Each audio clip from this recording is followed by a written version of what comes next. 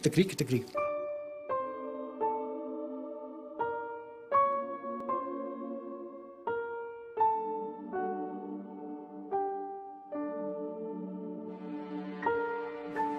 Da habe ich begriffen, was das bedeutet. Krieg.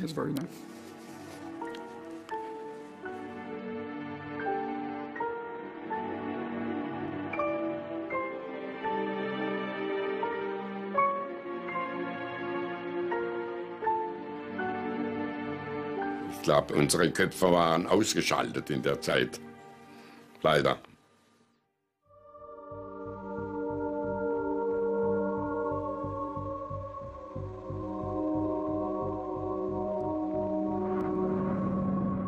Vor 70 Jahren, am 1. September 1939, überfielen deutsche Truppen Polen.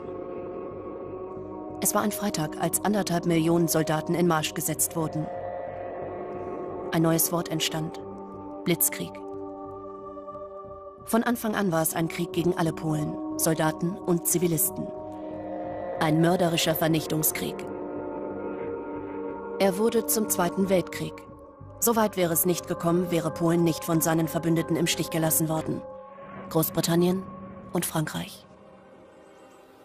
Mikołajin, damals ein Dorf an der deutsch-polnischen Grenze. Am Morgen des 1. September 1939 rückte die Wehrmacht an. Bodentruppen, Panzer. Am Rand des Dorfes lebte die Familie Makles. Was der jüngste Sohn Jacek nun erleben sollte, hat er immer wieder aufgeschrieben. Es sich von der Seele geschrieben. Es lässt ihn nicht mehr los. Jacek Makles war elf Jahre alt, als die deutschen Soldaten kamen.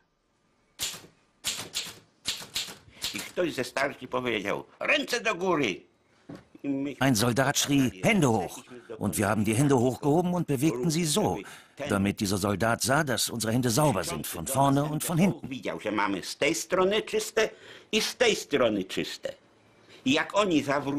Als die Soldaten dann weitergefahren sind, sagten wir, die sind ja komisch. Die kommen extra von so weit her, um zu sehen, ob wir Schulkinder saubere Hände haben.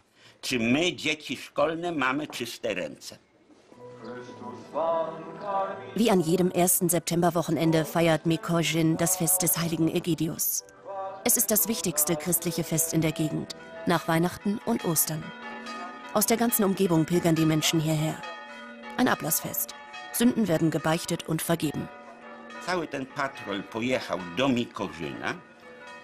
Die Soldaten fuhren nach Mikožin rein, Richtung Kirche. Da rief ihnen ein mutiger Mann auf Deutsch zu, ja seht ihr denn nicht, dass hier ein Kirchenfest ist, eine Prozession? Was ist denn mit euch los? Wir haben Krieg, schrie ein Soldat zurück. Ja, könnt ihr mit eurem Krieg nicht bis morgen warten? Heute ist unser Fest. Und tatsächlich hielten die Deutschen an. Sie warteten, bis die Pilger in die Kirche gingen.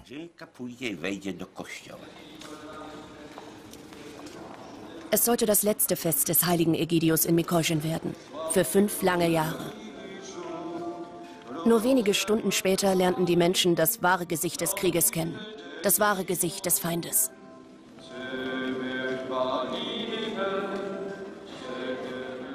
Matka była przerażona.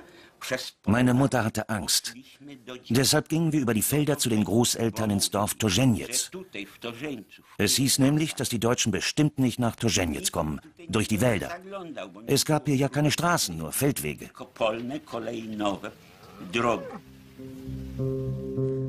Edward Nikodem war damals zehn Jahre alt und lebte in Torzeniec mit seinen Eltern und seinem Großvater Iji. Ale dziadek mówi tak. Mein Großvater sagte, die Deutschen werden nur durchmarschieren. Die werden uns nichts tun. Wir haben denen ja auch nichts getan. Und wohin sollten wir auch fliehen? Mein Vater war ja eingezogen und wir blieben zu Hause. Alle in Sorge, was wird passieren, was wird passieren. Der erste Tag dieses Krieges ging zu Ende. Nachts fielen Schüsse am Dorfrand. Drei deutsche Soldaten des Infanterieregiments 41 starben. Bis heute ist ungeklärt, wer geschossen hatte. Die Folgen waren verheerend.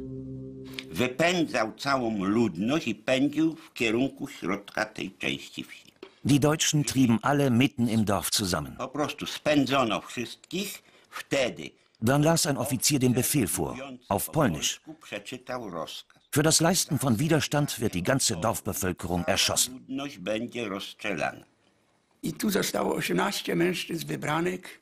Sie wählten aber 18 Männer aus, jeden zweiten aus unserem Dorf, für die Erschießung. Ich hielt meinen Großvater an der Hand. Ein Soldat stieß mich weg und nahm Großvater mit für die Erschießung. Alle Frauen und Kinder mussten auf einen Hof. Dort sollte die Erschießung stattfinden. Und alle aus dem Dorf, Mütter und Kinder, sollten sehen, wie man ihre Väter und Brüder tötet. Wir fielen auf die Knie, flehten die Soldaten an. Was haben wir euch getan? Bitte vergebt uns. Wir haben niemandem ein Unrecht getan. Wofür wollt ihr uns so hart bestrafen? Ich sah, dass einige junge Soldaten Tränen in den Augen hatten, als wir da auf unseren Knien flehten.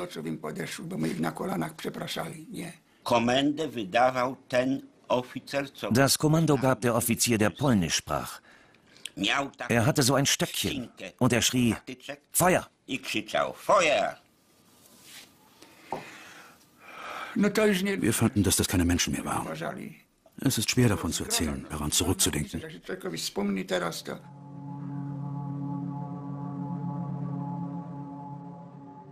Wer konnte, floh aus dem Dorf. Andere verbargen sich in ihren Häusern.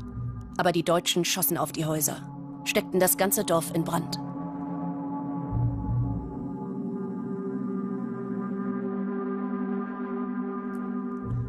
Am nächsten Tag wagten sich die ersten Geflohenen zurück. Unter ihnen auch Jacek Makles. Damals sah ich Dinge, über die ich schwer sprechen kann. Dort lag Pietschak, ein Nachbar, erschossen durch eine Kugel in den Hinterkopf. Er war zur Hälfte verbrannt, denn er war auf die Schwelle seines Hauses gefallen. Als das Haus brannte, wurde er gebacken. Mein Schulfreund, Stasio Jandryschak, lag hinter einem Zaun im Kartoffelfeld, ohne Kopf. Er hatte nur noch das rechte Ohr dran, ein Stück Hals und den Rumpf. Mord an polnischen Zivilisten. Die deutsche Propaganda erklärte die Opfer zu Tätern. Eine der ersten Aufgaben ist die Säuberung der Ortschaften von dem verhetzten polnischen Mob, der von der polnischen Regierung zum hinterhältigen Freischärlerkampf gegen die deutschen Soldaten aufgestachelt wurde. Im Lesesaal des Deutschen Historischen Instituts in Warschau. Der Historiker Dr. Jochen Böhler erforscht die Einsätze der Wehrmacht in Polen, auch den in Torzeniec. Torzeniec ist nur ein Beispiel für hunderte weitere, die sich in Polen 1939 ereigneten. Was allen Fällen gemeinsam ist, dass bei einer nachdenklichen Untersuchung der Ereignisse keine Schuldigen gefunden werden konnten. Das heißt, was äh, nach Abklingen der Schießerei passiert ist, dass aus der Bevölkerung wahllos Männer herausgegriffen werden, die für den vermeintlichen Überfall verantwortlich gemacht werden. Die Opferzahlen, die im September 1939 ähm, äh, zu verzeichnen sind, gehen in die Tausende. Berlin. Am Morgen des 1. September 1939. Es war sonnig und warm. Gegen 10 Uhr ließ Adolf Hitler sich zum Reichstag fahren. Kurz zuvor hatte er die Menschen im Reich aufrufen lassen, sich vor den Rundfunkgeräten einzufinden. Werner Morg war damals Angestellter in einem Radiogeschäft. Ich kam in die Firma und der Prokurist äh, kam auf mich zu und sagte, Herr Morg, Sie müssen bitte alles herrichten für einen Gemeinschaftsempfang. Um 10 Uhr spricht der Führer, bitte in der Radioabteilung alles herrichten, Stühle aufstellen, dass der gesamte Betrieb äh, den Gemeinschaftsempfang verfolgen kann. Unsere Ziele ich bin entschlossen, erstens die Frage Danzig, zweitens die Frage des Korridors zu lösen und drittens dafür zu sorgen, dass im Verhältnis Deutschland zu Polen eine Wendung eintritt, eine Änderung, die ein friedliches Zusammenleben sicherstellt. Für ein friedliches Zusammenleben hatte Hitlers Wehrmacht soeben einen Nachbarstaat brutal überfallen. Die Rede war absurd. In Danzig lebten rund 400.000 Menschen, die meisten Deutsche und 16.000 Polen. Danzig war als sogenannte freie Stadt ein kleiner Staat, gehörte weder zu Polen noch zu Deutschland, eine Folge des Ersten Weltkriegs. Die deutsche Propaganda stellte die Trennung Danzigs vom Reich als brutalen Einschnitt dar.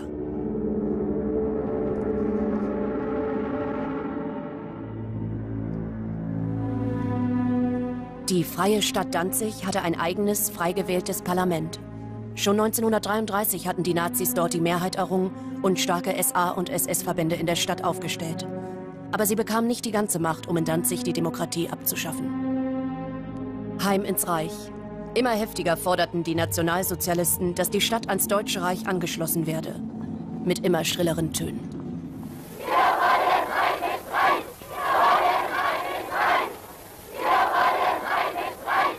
Doch Danzig war nicht der einzige Streitpunkt zwischen Deutschland und Polen. Polen war seit mehr als 100 Jahren zwischen Preußen, Russland und Österreich-Ungarn aufgeteilt. Erst mit dem Ende des Ersten Weltkriegs entstand Polen als Staat neu. Damit waren aber auch mehr als eine Million Deutsche zu polnischen Staatsbürgern geworden. Das führte immer wieder zu Konflikten, Schikanen und Ausschreitungen gegen Deutsche. Die Nazi-Propaganda verzerrte solche Vorfälle maßlos zu einem großen Verbrechen, das es nie gab. Während die Bevölkerung Danzigs ruhig und vertrauensvoll die Heimkehr ins Reich erwartet, sind die Volksdeutschen innerhalb der polnischen Grenzen wildestem Terror ausgesetzt. Viele Tausende flüchteten vor den Gewalttätigkeiten der Polen in den Schutz des Reiches und fanden vorläufig in Sammellagern Aufnahme. Auf diese Propaganda konnte Hitler bauen, als er in seiner Rede am 1. September die größte Lüge verbreitete. Er erklärte die Angegriffenen zu Angreifern. Polen hat heute Nacht zum ersten Mal auf unserem eigenen Territorium auch mit bereits regulären Soldaten geschossen. Seit 5.45 Uhr wird jetzt zurückgeschossen. Und von jetzt ab wird Bombe mit Bombe vergolten. Und alle standen schön auf bei uns, schweigend, als das verklungen war weil unser Seniorchef und sagte, es war ein betretenes Schweigen, sagte so, da wollen wir mal alle wieder schön an unsere Arbeit gehen, unsere Pflicht erfüllen. Ich muss ganz ehrlich sagen, mir erschien das damals etwas zu wenig. Ich bin aus der Abteilung nach oben auf den Boden gegangen. Auf dem Boden waren zwei Fahnenstangen mit der schwarz-weiß-roten und mit der Hakenkreuzfahne. Weil ich der Meinung war, jetzt müsste man doch die Flaggen hissen. Die Leute waren wie immer. Die lachten und unterhielten sich und waren fröhlich und gut. Ich denke, Leute, es ist Krieg. Für mich war das Horror. Ich habe irgendwie so eine ganz böse Ahnung gehabt, weil ich von den Erzählungen meiner Mutter wusste, wie furchtbar es im Ersten Krieg war. Ich hatte den Eindruck, dass er, wir von denen angegriffen würden und unsere äh, Lage, die also eine Art Verteidigung werden sollte, als dass wir selbst angriffen. Die Nationalsozialisten unternahmen alles, damit die Welt an einen polnischen Angriff glaubt. Der reichsdeutsche Sender in der Grenzstadt Gleiwitz. Am 31. August überfielen ihn SS-Männer in polnischen Uniformen, um einen polnischen Angriff vorzutäuschen. Für diese Aktion gab es nur einen Grund, den Hitler bereits 1938 offen ausgesprochen hatte. Verzwang war die Ursache, warum ich jahrelang so von Frieden redete. Es war nunmehr notwendig, das deutsche Volk psychologisch allmählich umzustellen. Das heißt also, bestimmte Vorgänge so zu beleuchten, dass im Gehirn der breiten Masse des Volkes ganz automatisch allmählich die Überzeugung ausgelöst wurde, wenn man das ihm nicht im Guten abstellen kann, dann muss man es die Gewalt abstellen. Hitler wollte den Krieg, schon seit Jahren. Am 25. August steuerte auf seinen Befehl ein Schlachtschiff der Kriegsmarine die polnische Küste an und fuhr die Weichsel hinauf.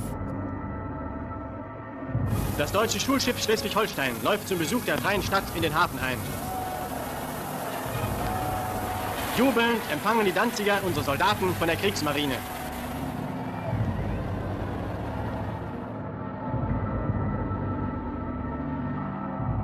An Deck fröhliche Matrosen. Unter Deck eine 225 Mann starke Sturmabteilung der Kriegsmarine, bereit für den Angriff. Im Morgengrauen des 1. September macht die Schleswig-Holstein vor der Westerplatte fest, einem polnischen Munitionsdepot mit 210 Soldaten. Den Deutschen war die Westerplatte bei Danzig seit Jahren ein Dorn im Auge.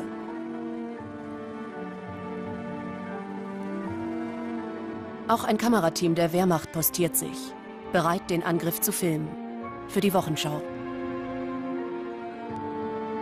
An der Westerplatte sollte der Krieg gegen Polen beginnen.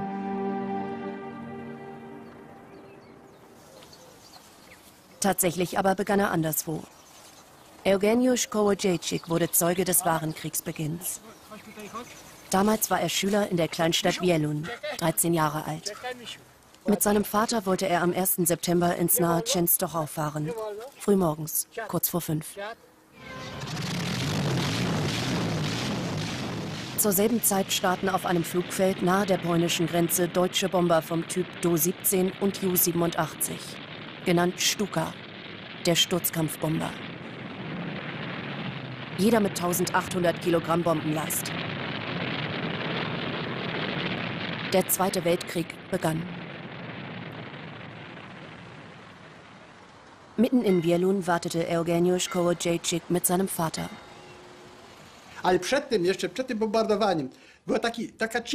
Vor der Bombardierung gab es noch so eine Stille. Irgendwo bellte ein Hund. Eine Straßenlaterne flackerte. Da lief jemand. Ein Mann, eine Frau. Und da war so eine Stille.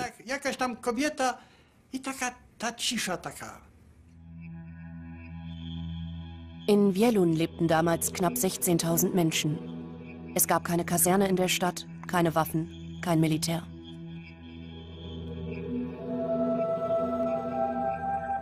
Dieser Kleinstadt näherte sich die Bomberflotte. Weit hatte sie es nicht. Wielun lag nur 21 Kilometer hinter der Grenze.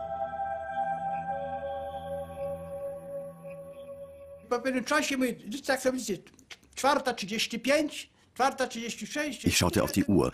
Es ist 4.35 Uhr, 4.36 Uhr, 37 Und ich sagte, Papa, ich höre was. Flugzeuge. Papa, es fallen Bomben. Schreie. Und es ging los. Da begann die Tragödie.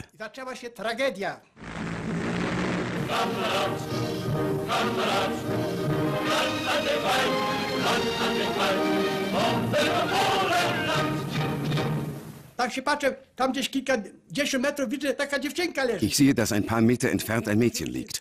Auf der Straße. Ich laufe los. Papa sagt, wohin willst du? Aber ich laufe schon. Ich hebe das Mädchen hoch. Es war fünf, vielleicht sechs Jahre alt. Schwarze Haare, diese Augen und das ganze Gesicht voll Blut. Sie war vielleicht das erste Opfer des Zweiten Weltkriegs. Ich will nicht den Kampf gegen Frauen und Kinder führen. Ich habe meiner Luftwaffe den Auftrag gegeben, sich auf militärische Objekte bei ihren Angriffen zu beschränken.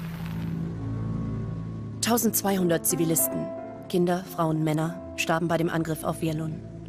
So begann der Krieg gegen wehrlose Menschen. Und ich dachte, warum musste das geschehen? Ich fragte, Papa, warum? Lass uns darüber jetzt nicht reden. Später, später. Du siehst ja, was hier passiert. Schreie, rufe um Hilfe.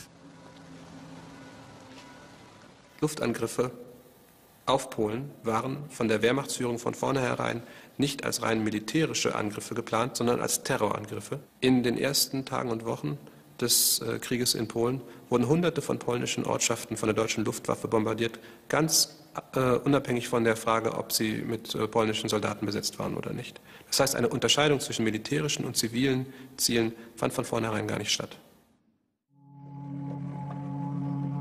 Die Westerplatte, das polnische Munitionsdepot an der Ostseeküste bei Danzig. 4.45 Uhr. Fünf Minuten nach den ersten Bomben auf Wielun brach auch hier der deutsche Angriff los. Und auf einmal hörte ich so ein Donnern. Ich dachte, es wäre Gewitter. Aber dass man donnert und die Fenster sind auf, mein Vater und meine Mutter liefen hin und her und da sagt mein Vater, siehst du, ich habe recht gehabt, das ist der Krieg. Und dann sprang ich auf, wurde ich wach, sprang aus dem Bett raus, ging ans Fenster und dann hörten wir schon dieses Schießen nicht? von der Schleswig-Holstein.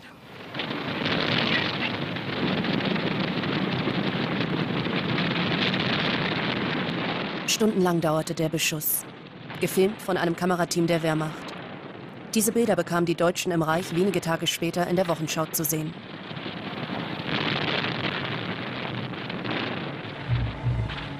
In der knapp vier Kilometer entfernten Danziger Altstadt machten sich viele Menschen auf den Weg zur Westerplatte.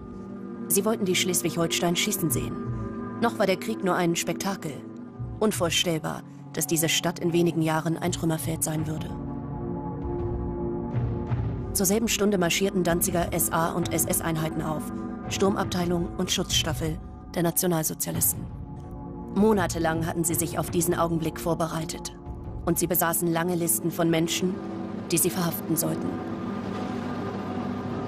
Waltraud Nagel erlebt diesen Morgen in der Stadt. Mein Onkel wurde auch denselben Tag eingesperrt. Er hat bei der polnischen Bahn gearbeitet. Und alles, was bei den Polen gearbeitet hat, das haben sie eingesperrt. Aber er kam nach sechs Wochen raus, dann mein Cousin hat sich zum Militär gemeldet, Deutsche, nicht? Und dann kam er raus, aber er hat dann schon nicht mehr lange gelebt. Der konnte gar nicht mehr richtig sprechen. Der war, wie soll ich das sagen, der hatte die Niere kaputt gehabt, die, die, die, den, den Magen und, und der war so abgemagert und er wollte überhaupt nichts sagen. Die polnische Post in Danzig. Auch die Beamten hier sollten verhaftet werden, weil sie Polen waren. Aber sie wehrten sich und verschanzten sich im Gebäude. Sie hatten sich bewaffnet, einen deutschen Angriff erwartet. 57 Männer und Frauen. Am späten Vormittag begann der Beschuss der Post. Auch das vor laufender Kamera für das heimatliche Publikum. Die Postbeamten verteidigten sich den ganzen Tag lang gegen einen übermächtigen Feind. Noch oft sollten Polen im Zweiten Weltkrieg kämpfen, selbst dann, wenn es keine Chance zum Sieg gab. Am Abend leitete die SS Benzin in den Keller der Post und zündete es an. Danach dauerte es nicht mehr lang.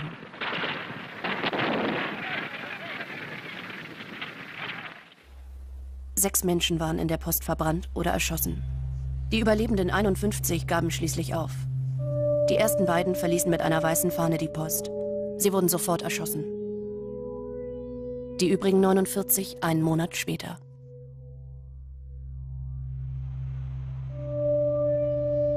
Danzig ist jetzt in der Hand der Nationalsozialisten. Schon am 1. September erklären sie Danzig offiziell zu einem Teil des Deutschen Reiches. Die lange Gasse. Hier rückte die Wehrmacht ein. Tatsächlich begrüßte sie die Mehrheit der Deutschen sehr freudig, nicht nur für die Kameras. Zur selben Stunde waren schon 1500 Danziger Polen gefangen. Tags darauf kamen viele von ihnen ins KZ Stutthof. In der Stadt kehrte eine gewisse Normalität ein. Das neue Schuljahr begann. Nicht wie üblich am 1. September, sondern einen Tag später. Also den ersten Schultag habe ich so eine Erinnerung. Wir hatten die erste Stunde Musik gehabt und unsere Lehrerin kam in die Klasse und begrüßte uns mit, den, mit hoch erhobener Hand, begrüßte uns, ich grüße die reichsdeutschen Kinder. Wir waren ja vorher Kinder aus der freien Stadt Danzig und jetzt waren wir ja zum Reich angereicht worden.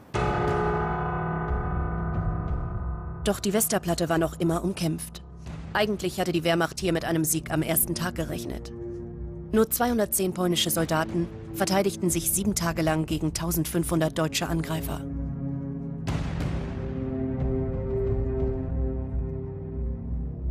Die Westerplatte und die Danziger Post sind bis heute in Polen Symbole des ungebrochenen Willens zur Verteidigung gegen den deutschen Überfall.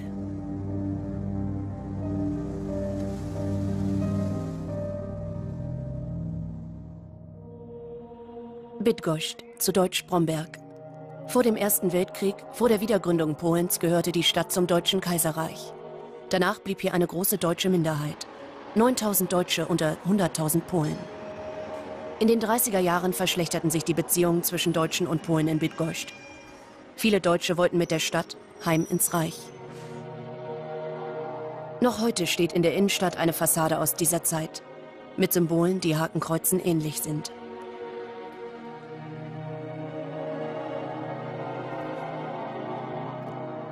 Am 3. September waren polnische Truppen auf dem Rückzug durch die Stadt, auf der Flucht vor der Wehrmacht. Was nun geschah, wurde später Bromberger Blutsonntag genannt und ist bis heute umstritten. Es gibt zwei Versionen, unvereinbare Versionen. Da ging es im Galopp und im Laufschritt und äh, die äh, polnischen Offiziere versuchten da ihre Truppen in Ordnung zu halten und graben Warnschüsse in die Luft ab aus ihren Pistolen. Und äh, nachher stellte sich raus, das waren, äh, da bereite, verbreitete sich dann das Gerücht, äh, die Deutschen in Bromberg schießen auf polnische Soldaten.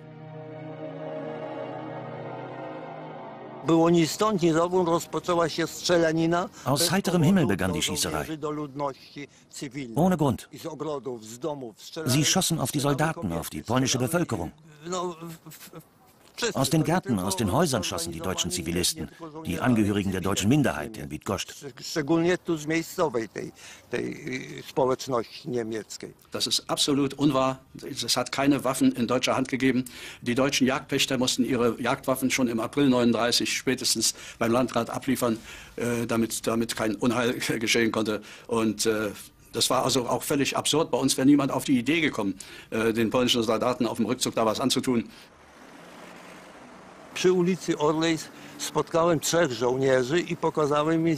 In der Orla-Straße traf ich unsere Soldaten. Denen habe ich einen Garten gezeigt, aus dem Deutsche schossen. Sofort liefen sie dahin und kurz danach führten sie drei Männer ab, die trugen polnische Rotkreuz-Uniformen. Ich sage zu ihnen, hört mal, das sind doch Polen. Nein, das sind keine Polen, das sind Deutsche. Ich glaubte es nicht, also lief ich ihnen hinterher.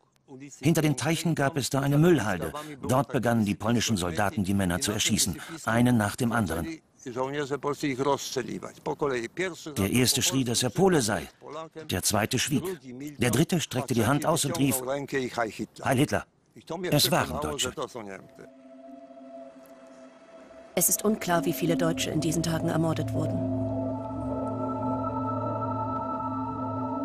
Seriöse Schätzungen gehen von bis zu 300 Opfern aus in Bromberg und von 4500 in ganz Polen.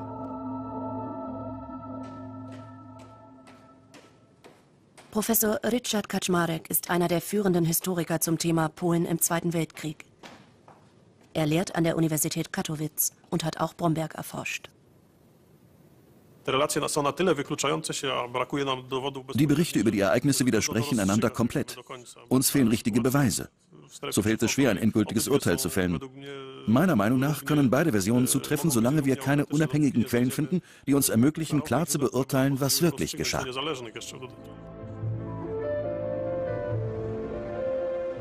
In London herrscht noch Frieden, obwohl Großbritannien mit Polen einen Beistandspakt geschlossen hatte.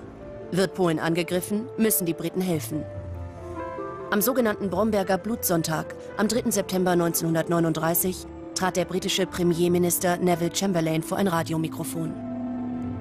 I have to tell you now that no such undertaking has been received and that consequently this country is at war with Germany. We and France are today in fulfillment of our obligations going to the aid of Poland, who is so bravely resisting this wicked and unprovoked attack upon her people.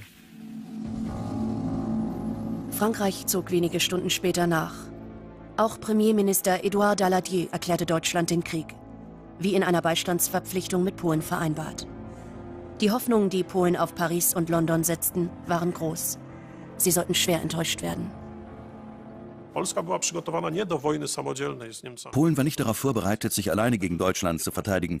Polen war auf einen Koalitionskrieg vorbereitet, also darauf, dass 15 Tage nach der Kriegserklärung Frankreichs und Englands eine Großoffensive im Westen starten würde. Das Ziel Polens war es, eine möglichst große Anzahl deutscher Armeen zu binden. Sogar um den Preis riesiger Verluste und des Durchbruchs der Wehrmacht sollten so viele deutsche Soldaten in Polen aufgehalten werden, damit England und Frankreich ungehindert angreifen und nach Berlin kommen konnten.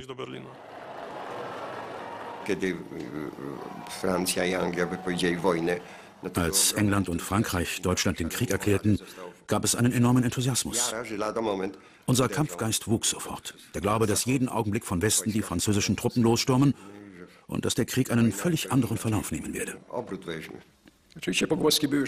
Es gab Gerüchte, dass französische Flugzeuge bereits über dem Bodensee nach Polen unterwegs seien, dass jeden Augenblick der Angriff von der Maginot-Linie Richtung Deutschland erfolgen werde, dass alles auf einem guten Weg sei.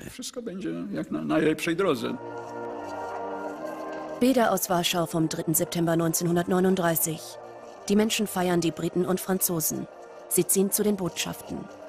Und zum Amtssitz des polnischen Außenministers, Josef Beck die zentrale Persönlichkeit der polnischen Regierung. Er verbreitet Zuversicht. Briten und Franzosen hatten den Deutschen den Krieg erklärt. Sie müssen jetzt angreifen. Sie werden Polen helfen. Doch in London denkt niemand an einen Angriff. Schutz des eigenen Landes. Sicherung vor Luftangriffen heißt die Devise. Die Furcht vor deutschen Bomben ist groß.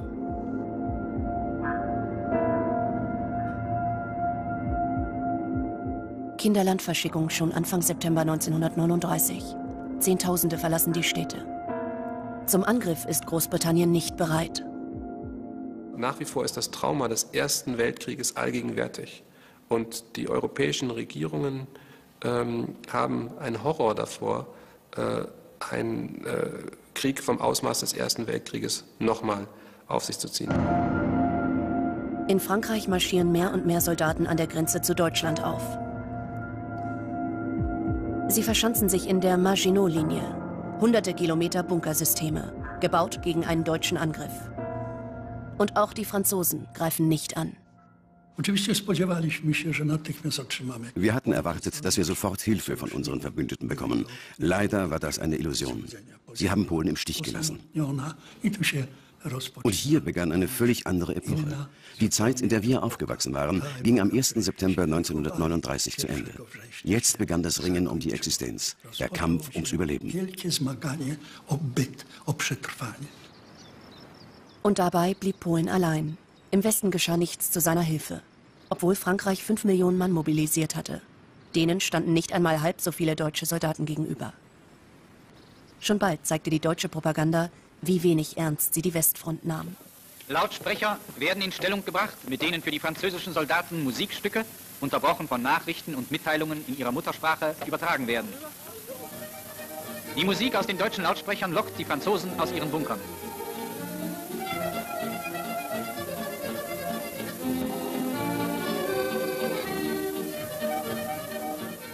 Sie tanzen. Sie kämpfen nicht. Eigentlich sympathisch wäre hier nicht eine Chance vertan worden. Eine Chance, die viele Millionen Menschen hätte retten können. Wenn Polens Verbündete ihre 3000 Panzer nicht nur zur Grenze gefahren hätten, wenn sie sie auch eingesetzt hätten. Wenn Franzosen und Briten angegriffen hätten. Alles wäre anders gekommen. Mit Sicherheit. Wir wissen doch, wie das Kräfteverhältnis auf beiden Seiten war. Deutschland war 1939 absolut nicht auf einen Krieg an zwei Fronten vorbereitet. Wir können davon ausgehen, dass ein Zwei-Fronten-Krieg zur Niederlage Deutschlands geführt hätte. Eine deutsche Niederlage? Schon Ende 1939? Vielleicht Anfang 1940? Der Krieg, den Deutschland angefangen hatte, sollte noch fast sechs Jahre dauern und 60 Millionen Menschenleben kosten.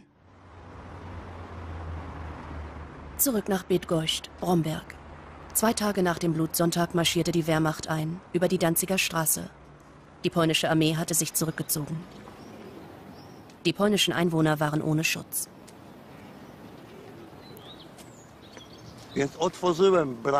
Ich habe die Tür aufgemacht und angefangen zu schreien, hoch leben die Engländer. Dann bekam ich einen Schock, denn die Gewehre wandten sich in meine Richtung und ich hörte Hände hoch. Da begriff ich, dass es Deutsche waren. No i zorientowałem się, że to są Niemcy. Dann waren wir natürlich erleichtert, dass hier äh, irgendwelche Gefahren jetzt äh, von uns genommen waren. Und äh, ich bin gleich zu dem hingelaufen, habe den begrüßt. Er war ganz platt, dass er hier von einem Deutschen empfangen wurde. Ja. Und äh, tja, dann war für uns sozusagen eine vorübergehende Befreiung. Nicht so für die Polen. Jeder, der verdächtigt wurde, an dem Massaker gegen die Deutschen beteiligt gewesen zu sein, wurde verhaftet. Wehrmacht, SD und SS erschossen in diesen Tagen mindestens 400 Polen. Willkürlich. Ohne Prozess. Geiseln werden genommen zur Strafe für den Angriff auf deutsche Soldaten.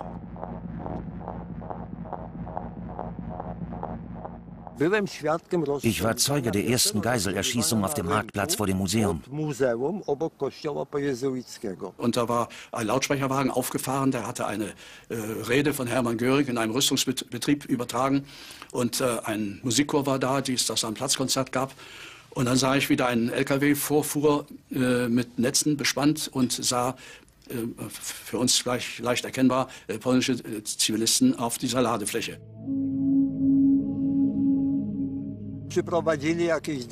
Sie führten ungefähr 20 Männer herbei und stellten sie vor die Museumsmauer. Dort standen sie sehr lange. Schließlich machte sich der Exekutionsdruck bereit. Und da stand eine, ein Polizeikommando in grünen Uniformen, so im Halbkreis um die herum. Und äh, auf einmal gab es dann das Feuerkommando.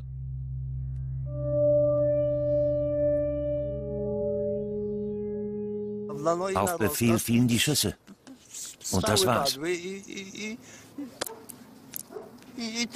Knapp 20 Geiseln wurden da erschossen. Und das war natürlich für mich als 16-Jährigen ein, ein Schock, sowas, sowas mal erleben zu müssen. Und habe gemacht, dass ich äh, wegkam. Sie haben diese Show mit Absicht veranstaltet. Es waren ja viele Menschen auf dem Marktplatz. Die Deutschen wollten, dass wir Polen sehen, was auf uns zukommt.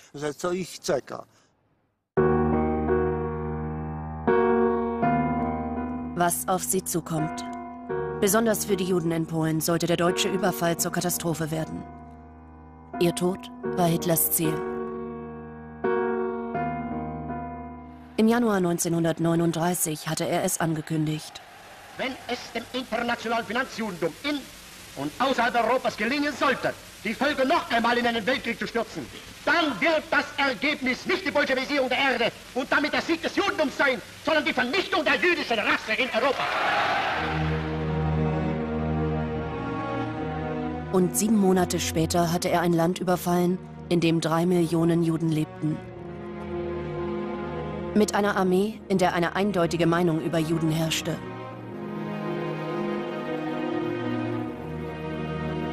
In Direktiven, die vor dem Angriff äh, den Soldaten verlesen worden waren, wird tatsächlich darauf abgezielt, dass äh, gerade den polnischen Juden nicht zu trauen sei, dass von ihnen eine Gefahr für die Truppe ausgehen würde. Die äh, Briefe der Soldaten und die Kriegstagebücher sind gespickt von antisemitischen und antislawischen Vorurteilen. Polnische Juden werden als schmierig und dreckig bezeichnet. Es wird vermutet, dass äh, die polnischen Juden die Trinkwasservorräte, äh, auf die die Wehrmacht angewiesen ist, vergiftet. Sie werden als hinterhältig und meuchlerisch bezeichnet und äh, generell einer niedrigeren Lebensstufe zugeordnet. Pultusk, eine Kleinstadt nördlich von Warschau. Ort eines der Verbrechen, die aus dem Judenhass hervorgingen. Heute leben keine Juden in Pultusk. 1939 waren es mehr als 800. Von Wehrmachtssoldaten wurden sie über den Narew getrieben. Frauen und Kinder durften über die Brücke. Männer mussten schwimmen, durften aber nicht an Land. Schwammen hin und her bis zum Ertrinken. Die Soldaten schossen von der Brücke auf sie. Niemand weiß, wie viele Menschen hier ertranken oder erschossen wurden. Eines von unzähligen Verbrechen an Juden in Polen. Wenn deutsche Truppen anrückten, änderte sich in den Städten für die Juden alles. Sie wurden zu Freiwild, nicht nur für Soldaten. Beim Einzug in Lodz wurden die Truppen von der volksdeutschen Bevölkerung mit großem Jubel empfangen. Das ist mir Erinnerung, dass diese Volksdeutsche, der eigentlich immer so schön still saßen, plötzlich haben sie diese Möglichkeit bekommen, die Macht in der Hand bekommen und haben es so unmenschlich missbraucht. Unter diesen Menschen lebte Sally Perel, ein Jude aus Deutschland geflohen. Die Nationalsozialisten waren ihm gefolgt. Ich habe viel gesehen, wie Juden verprügelt wurden, wie, wie, das habe ich alles mitbekommen. Und das war das Schicksal aller Juden, so ähnlich. Man hat abgewartet, die ganz Frommen verließen sich auf Gott, kann doch nicht sein, dass Gott uns verlässt. Haben immer mal mehr gebetet wie früher. Weil Juden verlassen sich auf ihren Gott. Und wurden nachher eigentlich so enttäuscht. Ne? Mitte September 1939 standen bereits anderthalb Millionen deutsche Soldaten in Polen. Und an der Grenze lagen weitere Divisionen. Ein endloser Zug von Menschen, Fahrzeugen, Waffen strömte ins Land. In mehreren starken Angriffskeilen durchbrach die Wehrmacht die polnischen Linien und rückte auf das Zentrum des Landes vor.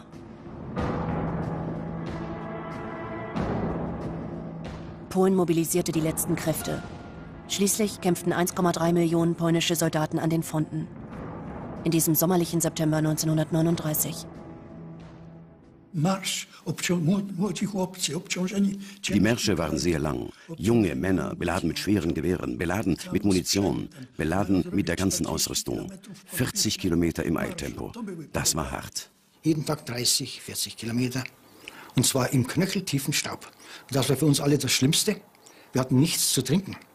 Denn es hat immer geheißen, die polnischen Brunnen sind alle vergiftet.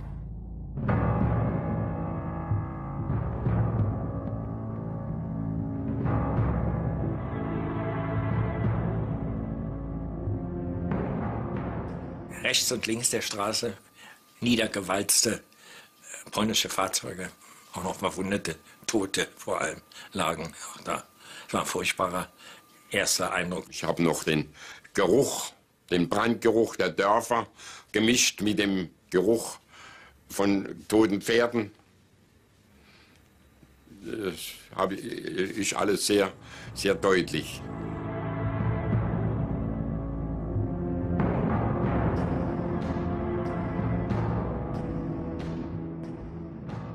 Zupełnie Man verliert sich ganz. Während des Kampfes gehen alle menschlichen Instinkte verloren. Der Mensch wird zur Maschine. Er schießt nur, um zu töten. So sieht die Wahrheit aus auf beiden Seiten. Es ist schrecklich.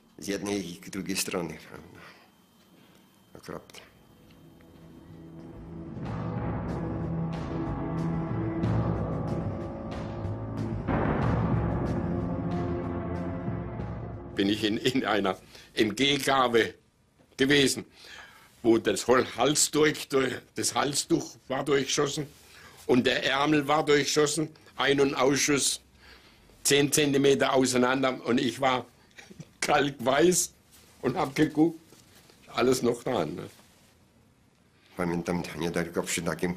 Während eines Angriffs riss ein Geschoss einem Soldaten den Kopf ab. Ich erinnere mich daran. Er lief noch zehn Meter ohne Kopf, bis er fiel.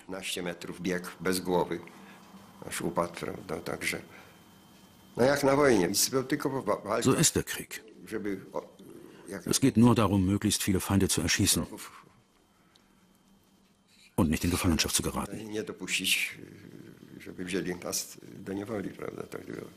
Da kam im Straßengraben ein polnischer Soldat mit erhobenen Händen uns entgegen. Und äh, der Leutnant zog die Pistole und erledigte ihn. Und wir, die, wo da drauf saßen, die hatten äh, kein besonders gutes Gefühl. Und als beim nächst, bei dem Angriff auf das Dorf dann dieser Leutnant als einziger fiel, dann war eigentlich äh, für alle die Welt wieder in Ordnung.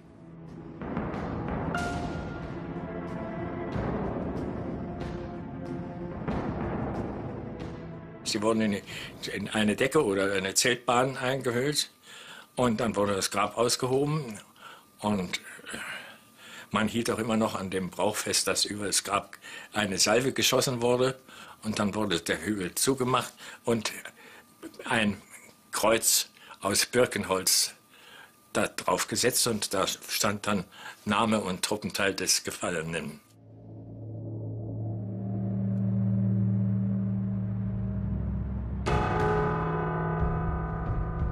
Fünf Monate vor dem Überfall feierte Hitler in der Reichshauptstadt seinen 50. Geburtstag. Dazu ließ er die Armee aufmarschieren, die er sich geschaffen hatte. 100.000 Soldaten hatte Deutschland 1933, als Hitler an die Macht kam. Sechs Jahre später waren es viereinhalb Millionen. Wenige Tage vor seinem Geburtstag hatte Hitler dem Oberkommando der Wehrmacht befohlen, den sogenannten Fall Weiß vorzubereiten, den Angriff auf Polen mit der größten, stärksten und modernsten Armee Europas.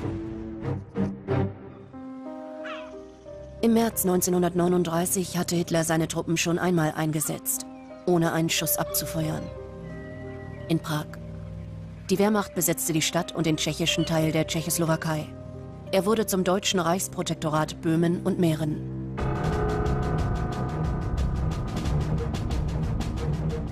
Jetzt verstand Europa, dass Hitler mit Verhandlungen nicht beizukommen war.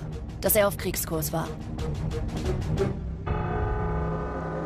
In Warschau beobachteten die Polen die deutsche Expansion mit Sorge. Auch die immer schärferen Forderungen Deutschlands nach Danzig und nach Teilen Westpolens. Anfang Mai tagt der Sejm, das polnische Parlament. Außenminister Josef Beck spricht zu den Abgeordneten und zum ganzen Volk. W Polsce znamy pojęcia pokoju za wszelką cenę. Jest jedna tylko rzecz w życiu ludzi, narodów i państw, która jest bezcenna. Tą rzeczą jest honor. Polen war bereit, sich gegen Deutschland zu verteidigen. Dabei unterschätzten die polnischen Politiker die Gefahr und überschätzten ihre Möglichkeiten. Ebenso wie das polnische Militär.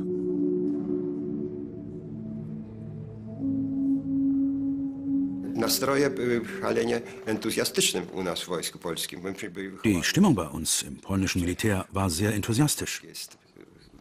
Wir waren doch so erzogen worden, dass das polnische Militär stark sei. Wir würden, wie es Minister Beck sagte, nicht einmal einen Knopf abgeben. Wir jungen Offiziersanwärter waren überzeugt, dass wir auf jeden Fall starken Widerstand gegen die Deutschen leisten werden. dosyć mm, silny, prawda, Niemcy. Doch die polnische Armee ist von Anfang an viel zu schwach, um allein gegen die deutsche bestehen zu können. Nicht einmal halb so viele Soldaten, nicht einmal halb so viele Waffen. Und sie war nicht auf dem neuesten Stand. Jahrelang war die Modernisierung vernachlässigt worden. Vor lauter Selbstvertrauen. Das Kriegsfotoalbum des Gebirgsjägers Franz Schall. Er erlebte, mit welcher Geschwindigkeit die deutsche Armee durch die Reihen der polnischen brach. Es hat ihn fast das Leben gekostet. Und wieder geht's durch die polnischen Weiten. Und Sie müssen sich vorstellen, von oben runter haben sie geschossen. Die Polen waren vollkommen überrascht. Die sind dann davon und haben auf uns geschossen. Wir sind mit ungefähr 80 Kilometer schießend und schreiend, Tode und so weiter, waren haufenweise da. Sind wir dann in einer Sturmfahrt nach Lemberg gefahren.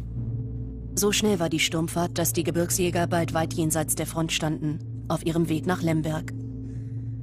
Plötzlich befanden sie sich allein im Osten, abgeschnitten von der Hauptstreitmacht. Lemberg, die größte Stadt Ostpolens, wurde von starken Einheiten verteidigt. Aber Franz Schall sollte nie nach Lemberg hineingelangen. Schon vor der Stadt kamen er und seine Kameraden nicht weiter. Auf die Sturmfahrt folgt der Stellungskrieg. Draußen, auf den Feldern. Neben dem Gewehr war der Spaten das wichtigste Instrument, das wir gehabt haben. Wir haben uns da fast jeden Tag eingraben müssen. Jeden Tag hast du dir ein Loch geschaufelt und hast dich reingelegt.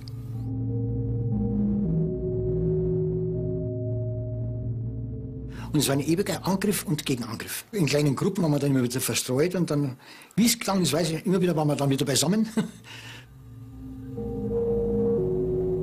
Und dann ging es wieder los. Und wir sind wirklich fast zur gleichen Zeit in die Höhe gegangen, der Pole und ich. Ich habe ihn getroffen, er ist umgefallen und er hat mich getroffen.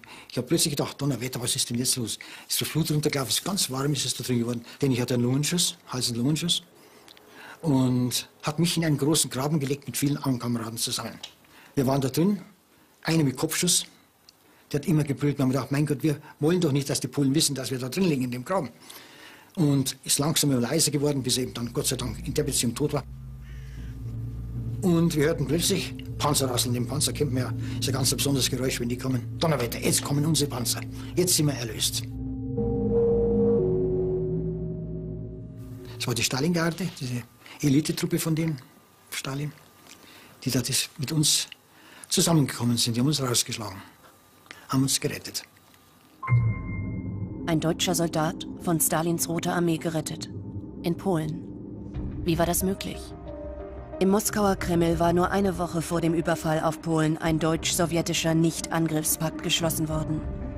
Außenminister von Ribbentrop unterzeichnete unter Stalins Augen für Deutschland. Außenminister Molotow für die Sowjetunion. In einem Geheimprotokoll einigten sich beide, Polen zu zerschlagen. Hitler musste die Sowjetunion nicht mehr fürchten bei seinem Angriff auf Polen. Der Überfall war ein leichtes Spiel.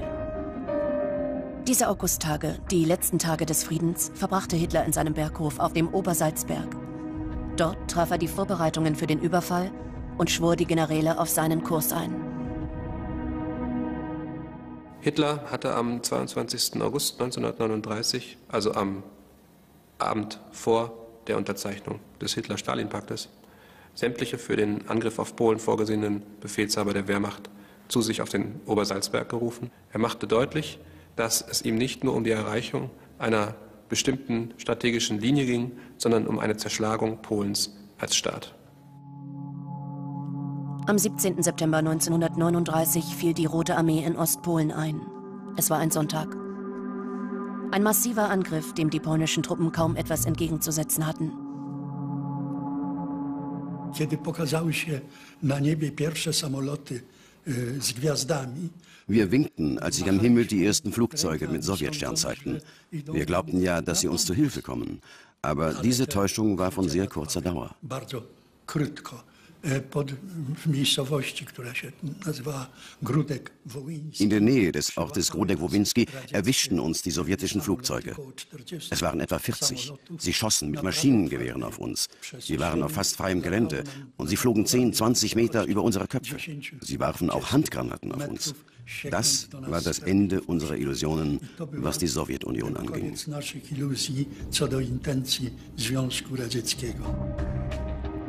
Gemeinsame Parade der Roten Armee und der Wehrmacht am 19. September in Brest-Litovsk. Keine zwei Jahre später wird Deutschland auch die Sowjetunion überfallen.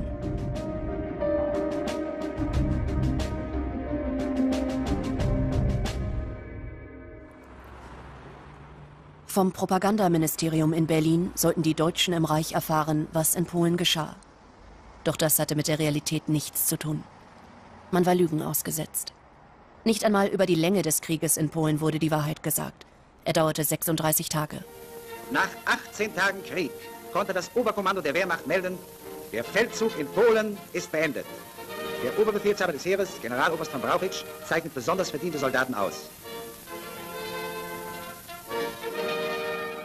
Man war alles in allem voller Stolz über die erzielten Erfolge der Wehrmacht in Polen und die alten Soldaten sagten, ja, denk mal dran im Ersten Weltkrieg, was das für Menschenleben gekostet hat.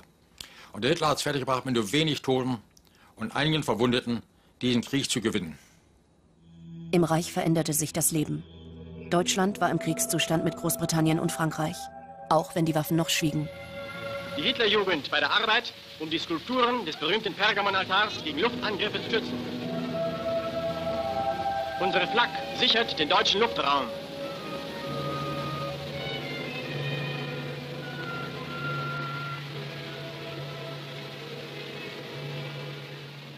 Das war spannend für uns als junge Leute, aber hat uns damals noch nicht so furchtbar aufgeregt. Es lief alles weiter, es war ja auch ungestört, es gab noch keine Bomben.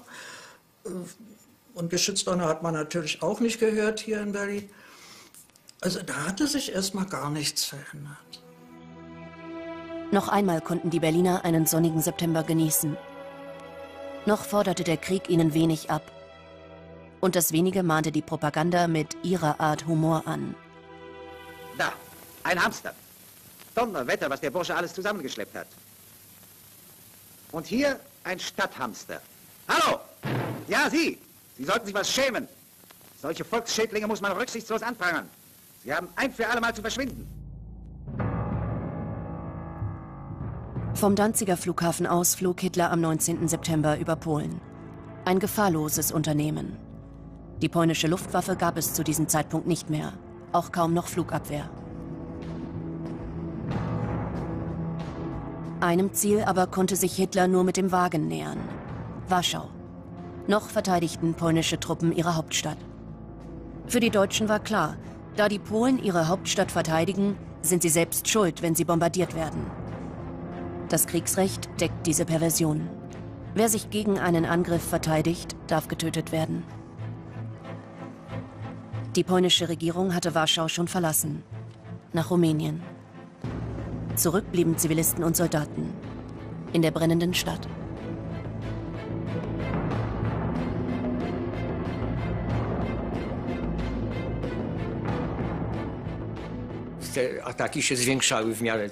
Die Angriffe wurden immer stärker. Es kamen immer mehr Flugzeuge. Sie warfen immer mehr Bomben ab. So ging es bis zum 25. September. Das war dann der Höhepunkt, der schlimmste Tag. Ich glaube, es war ein Montag. Wir nannten ihn den jüngsten Tag.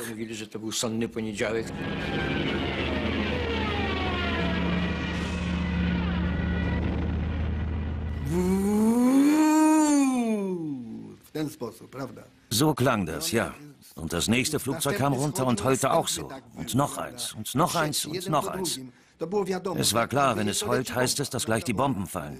Im Sturzflug warfen sie die Bomben ab.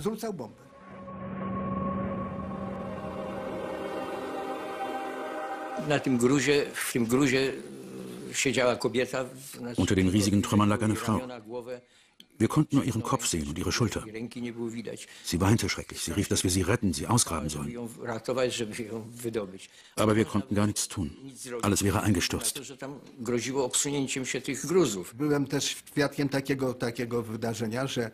Ich war Zeuge, wie eine Fliegerbombe fiel. Sie fiel neben eine Straßenbahnhaltestelle. Sie explodierte. Sofort hingen da in einem Baum menschliche Körperteile. Därme, ein Bein, ich weiß nicht mehr genau, was sonst noch. Alles zerfetzt auf diesem Baum. Zerfetzt, ein schrecklicher Anblick. Daher kam der Hass. Der Hass auf die Truppen, die uns angegriffen hatten.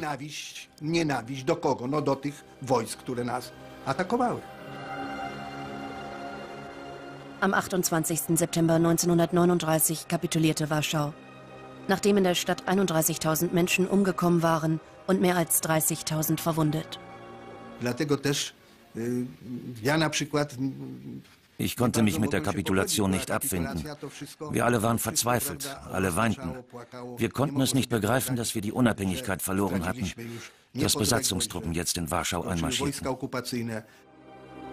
Danach kämpfen Teile der polnischen Armee noch bis zum 6. Oktober. Dann gingen 700.000 Mann in deutsche Kriegsgefangenschaft und 230.000 in sowjetische.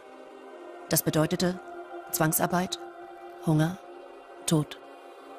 66.000 polnische Soldaten waren gefallen, mehr als 130.000 verwundet. Die Wehrmacht hatte der Krieg 10.000 Tote und 30.000 Verwundete gekostet. Deutschland und die Sowjetunion teilen Polen nun auf, wie vor dem Krieg vereinbart. Im Westen annektierte das Deutsche Reich große Teile Polens. Deutsche kamen nun als Siedler in die besetzten Gebiete. Neuer Lebensraum, wie es Hitler seit 20 Jahren gefordert hatte.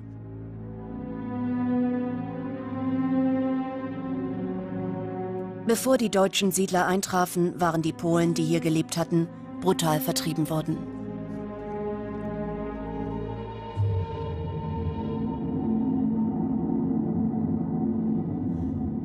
Generalgouvernement nannten die Nationalsozialisten nun den Teil Polens, der ihre Kolonie wurde, mit Krakau als Hauptstadt. Auf einem Hügel über der Stadt thront der Wawel, der alte polnische Königspalast. Ein Gebäude, das wie kein anderes die polnische Geschichte symbolisiert. Die Nationalsozialisten kannten diese Bedeutung, als sie hier ihre Machtzentrale einrichteten. Sie wollten sich als die Neuen, die absoluten Herrscher über Polen zeigen. Allen voran Hans Frank, der Generalgouverneur, für seine Verbrechen sollte er 1946 gehängt werden. Das Ziel war die totale Ausbeutung und Unterjochung der Polen. Polnische Kinder sollten nicht äh, äh, weiter zählen können als bis 500. Die polnische Bevölkerung galt in den Augen der deutschen Besatzer als ein billiges und williges Arbeitskräftereservoir.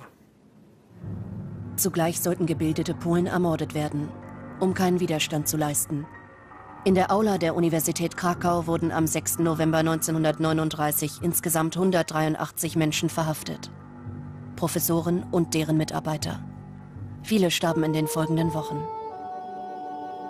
Professor Jan Nowak, nach drei Monaten KZ freigelassen, wenige Tage später an den Folgen der Haft gestorben.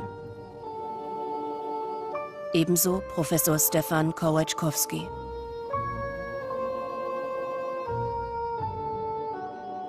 Ab November wurden die Juden in Ghettos gesperrt.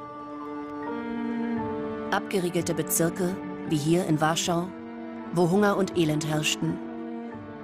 Wer das Ghetto überlebte, den ermordeten die Nationalsozialisten später im KZ. Viele versuchten zu fliehen, aber nur sehr wenigen gelang es. Wir mussten unsere Eltern verlassen, aber die Eltern bestanden darauf, ihr sollt gehen. Und ich kann mich auch erinnern an die Abschiedsszenen, das war herzreißend, aber besonders war für mich wichtig, was mein Leben bis heute prägt, die Abschiedswörter meiner Eltern, bevor wir Lodz verließen. Du musst gehen, weil du sollst leben. Das waren die Abschiedswörter meiner Mutter.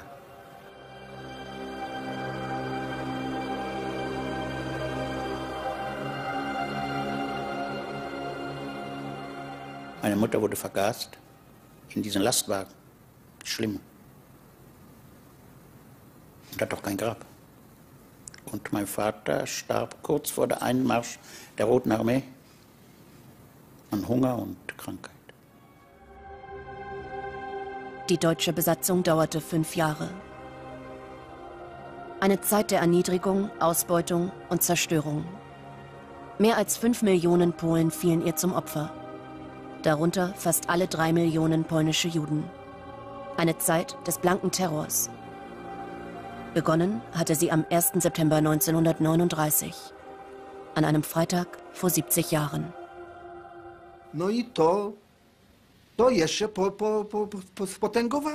All das führte einen immer größeren Hass auf die Deutschen. Sie provozierten es. Sie machten Razzien auf den Straßen. Sie nahmen unschuldige Menschen fest. Sie erschossen Menschen auf der Straße. Das war der Alltag. Und das rief unseren Willen zum Widerstand hervor. Widerstand. Die Polen leisteten Widerstand. Sie kämpften, trotz riesiger Verluste. Noch ist Polen nicht verloren, solange wir leben, heißt es in der Nationalhymne. Am Ende war es auch dieser Widerstand, der Deutschland besiegte und Polen befreite.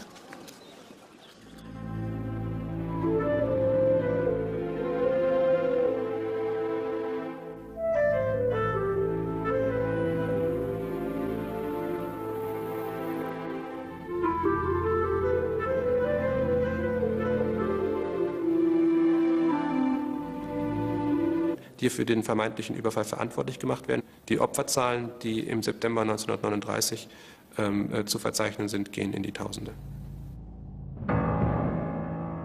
Berlin. Am Morgen des 1. September 1939. Es war sonnig und warm. Gegen 10 Uhr ließ Adolf Hitler sich zum Reichstag fahren. Kurz zuvor hatte er die Menschen im Reich aufrufen lassen, sich vor den Rundfunkgeräten einzufinden. Werner Morg war damals Angestellter in einem Radiogeschäft. Ich kam in die Firma und der Prokurist äh, kam auf mich zu und sagte, Herr Morg, Sie müssen bitte alles herrichten für einen Gemeinschaftsempfang. Um 10 Uhr spricht der Führer, bitte in der Radioabteilung alles herrichten, Stühle aufstellen, dass der gesamte Betrieb äh, den Gemeinschaftsempfang verfolgen kann. Unsere Ziele. Ich bin entschlossen. Erstens die Frage Danzig, zweitens die Frage des Korridors zu lösen und drittens dafür zu sorgen, dass im Verhältnis Deutschland zu Polen eine Wendung eintritt, eine Änderung, die ein friedliches Zusammenleben sicherstellt. Für ein friedliches Zusammenleben hatte Hitlers Wehrmacht soeben einen Nachbarstaat brutal überfallen. Die Rede war absurd. In Danzig lebten rund 400.000 Menschen, die meisten Deutsche und 16.000 Polen. Danzig war als sogenannte freie Stadt ein kleiner Staat, gehörte weder zu Polen noch zu Deutschland, eine Folge des Ersten Weltkriegs. Die deutsche Propaganda stellte die Trennung Danzigs vom Reich als brutalen Einschnitt dar.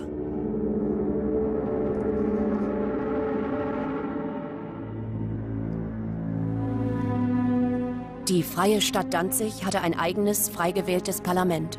Schon 1933 hatten die Nazis dort die Mehrheit errungen und starke SA- und SS-Verbände in der Stadt aufgestellt.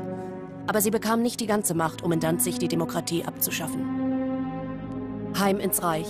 Immer heftiger forderten die Nationalsozialisten, dass die Stadt ans Deutsche Reich angeschlossen werde. Mit immer schrilleren Tönen.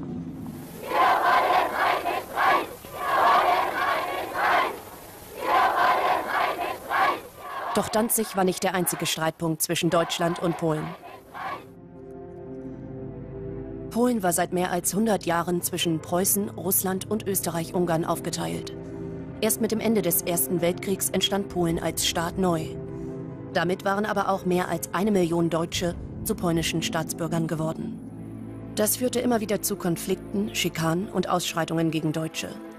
Die Nazi-Propaganda verzerrte solche Vorfälle maßlos zu einem großen Verbrechen, das es nie gab. Während die Bevölkerung Danzigs ruhig und vertrauensvoll die Heimkehr ins Reich erwartet, sind die Volksdeutschen innerhalb der polnischen Grenzen wildestem Terror. Den Angriff.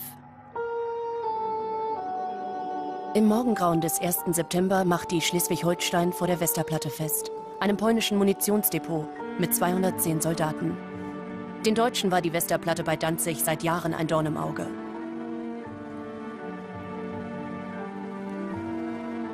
Auch ein Kamerateam der Wehrmacht postiert sich, bereit, den Angriff zu filmen. Für die Wochenschau.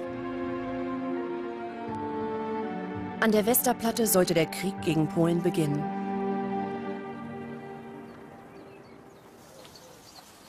Tatsächlich aber begann er anderswo. Eugeniusz Kołodziejczyk wurde Zeuge des wahren Kriegsbeginns. Damals war er Schüler in der Kleinstadt Wielun, 13 Jahre alt. Mit seinem Vater wollte er am 1. September ins nahe Częstochow fahren. Frühmorgens, kurz vor fünf. Zur selben Zeit starten auf einem Flugfeld nahe der polnischen Grenze deutsche Bomber vom Typ Do-17 und Ju-87, genannt Stuka, der Sturzkampfbomber. Jeder mit 1800 Kilogramm Bombenlast. Der Zweite Weltkrieg begann. Mitten in Wielun wartete Eugeniusz Kołodziejczyk mit seinem Vater.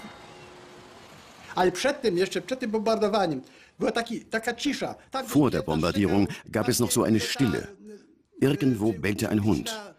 Eine Straßenlaterne flackerte. Da lief jemand. Ein Mann, eine Frau. Und da war so eine Stille.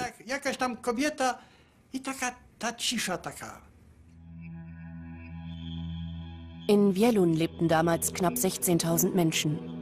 Es gab keine Kaserne in der Stadt, keine Waffen, kein Militär.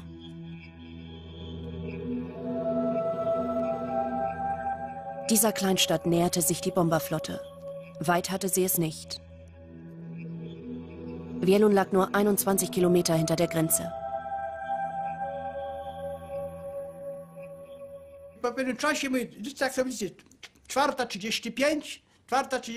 Ich schaute auf die Uhr. Es ist 4.35 Uhr, 4.36 Uhr, 37 Und ich sagte, Papa, ich höre was. Flugzeuge. Papa, es fallen Bomben.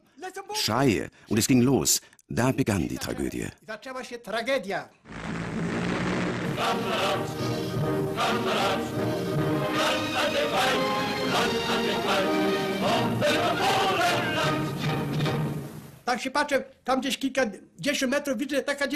Ich sehe, dass ein paar Meter entfernt ein Mädchen liegt. Auf der Straße. Ich laufe los. Papa sagt, wohin willst du? Aber ich laufe schon. Ich hebe das Mädchen hoch. Es war fünf, vielleicht sechs Jahre alt. Tränen in den Augen hatten, als wir da auf unseren Knien flehten.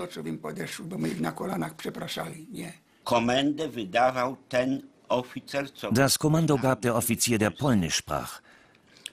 Er hatte so ein Stöckchen und er schrie, Feuer! Wir fanden, dass das keine Menschen mehr waren. Es ist schwer davon zu erzählen, daran zurückzudenken.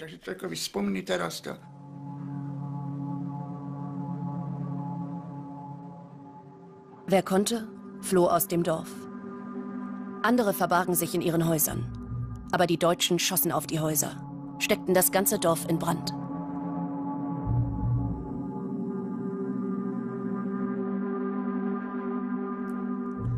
Am nächsten Tag wagten sich die ersten Geflohenen zurück. Unter ihnen auch Jacek Makles. Damals sah ich Dinge, über die ich schwer sprechen kann. Dort lag Pietschak, ein Nachbar, erschossen durch eine Kugel in den Hinterkopf. Er war zur Hälfte verbrannt, denn er war auf die Schwelle seines Hauses gefallen. Als das Haus brannte, wurde er gebacken. Mein Schulfreund, Stasio Jandryschak, lag hinter einem Zaun im Kartoffelfeld, ohne Kopf. Er hatte nur noch das rechte Ohr dran, ein Stück Hals und den Rumpf. Mord an polnischen Zivilisten. Die deutsche Propaganda erklärte die Opfer zu Tätern. Eine der ersten Aufgaben ist die Säuberung der Ortschaften von dem verhetzten polnischen Mob, der von der polnischen Regierung zum hinterhältigen Freischärlerkampf gegen die deutschen Soldaten aufgestachelt wurde. Im Lesesaal des Deutschen Historischen Instituts in Warschau. Der Historiker Dr. Jochen Böhler erforscht die Einsätze der Wehrmacht in Polen, auch den in Torzeniec. Torzeniec ist nur ein Beispiel für hunderte weitere, die sich in Polen 1939 ereigneten. Was allen Fällen gemeinsam ist, dass bei einer nachdenklichen Untersuchung der Ereignisse keine Schuldigen gefunden werden konnten. Das heißt, was äh, nach Abklingen der Schießerei passiert ist, dass aus der Bevölkerung wahllos Männer herausgegriffen werden, die für den vermeintlichen Überfall verantwortlich gemacht werden. Die Opferzahlen, die im September 1939 ähm, äh, zu verzeichnen sind, gehen in die Tausende. Berlin am Morgen des 1. September 1939. Es war sonnig und warm. Gegen 10 Uhr ließ Adolf Hitler sich zum Reichstag fahren. Kurz zuvor hatte er die Menschen im Reich aufrufen lassen, sich vor den Rundfunkgeräten einzufinden. Werner Morg war damals Angestellter in einem Radiogeschäft. Stundenlang dauerte der Beschuss. Gefilmt von einem Kamerateam der Wehrmacht. Diese Bilder bekamen die Deutschen im Reich wenige Tage später in der Wochenschau zu sehen.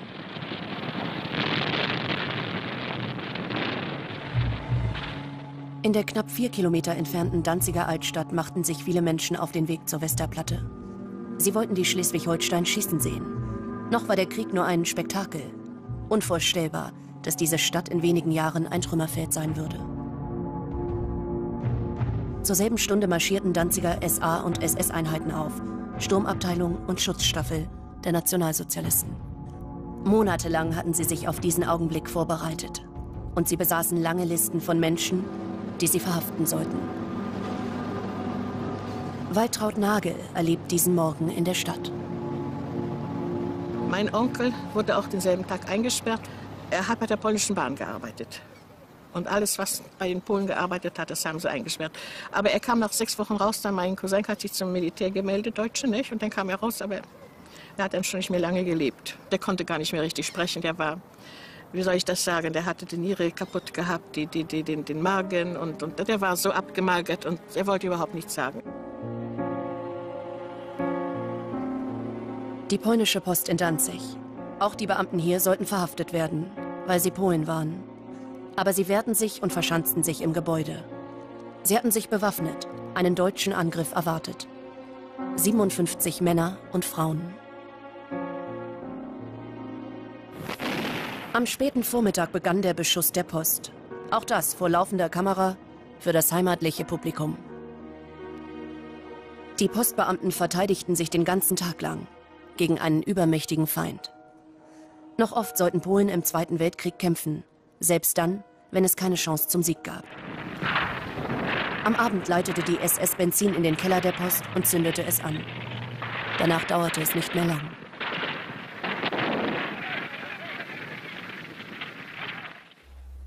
Sechs Menschen waren in der Post verbrannt oder erschossen.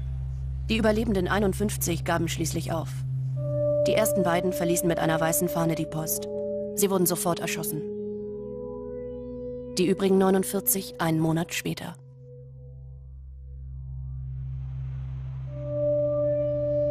Danzig ist jetzt in der Hand der Nationalsozialisten. Schon am 1. September erklären sie Danzig offiziell zu einem Teil des Deutschen Reiches.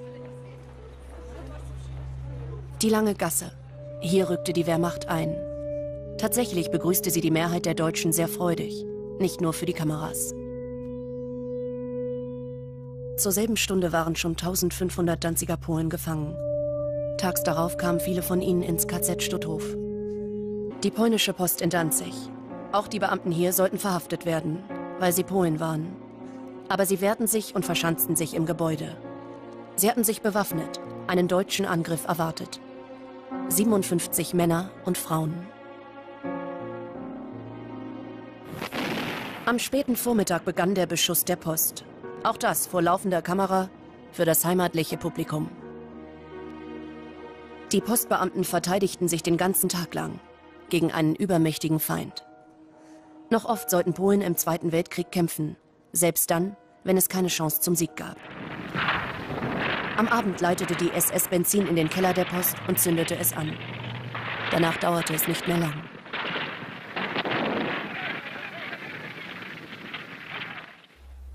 Sechs Menschen waren in der Post verbrannt oder erschossen. Die überlebenden 51 gaben schließlich auf. Die ersten beiden verließen mit einer weißen Fahne die Post. Sie wurden sofort erschossen.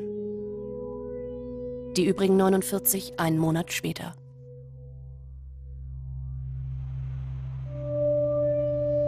Danzig ist jetzt in der Hand der Nationalsozialisten. Schon am 1. September erklären sie Danzig offiziell zu einem Teil des Deutschen Reiches. Die lange Gasse. Hier rückte die Wehrmacht ein. Tatsächlich begrüßte sie die Mehrheit der Deutschen sehr freudig, nicht nur für die Kameras. Zur selben Stunde waren schon 1500 Danziger Polen gefangen. Tags darauf kamen viele von ihnen ins KZ Stutthof. In der Stadt kehrte eine gewisse Normalität ein. Das neue Schuljahr begann. Nicht wie üblich am 1. September, sondern einen Tag später. Also den ersten Schultag habe ich so in Erinnerung. Wir hatten die erste Stunde Musik gehabt und unsere Lehrerin kam in die Klasse und begrüßte uns mit, den, mit hoch erhobener Hand, begrüßte uns, ich grüße die reichsdeutschen Kinder. Wir waren ja vorher Kinder aus der freien Stadt Danzig und jetzt waren wir ja zum Reich angereicht worden. Doch die Westerplatte war noch immer umkämpft. Eigentlich hatte die Wehrmacht hier mit einem Sieg am ersten Tag gerechnet. Nur 210 polnische Soldaten verteidigten sich sieben Tage lang gegen 1500 deutsche Angreifer.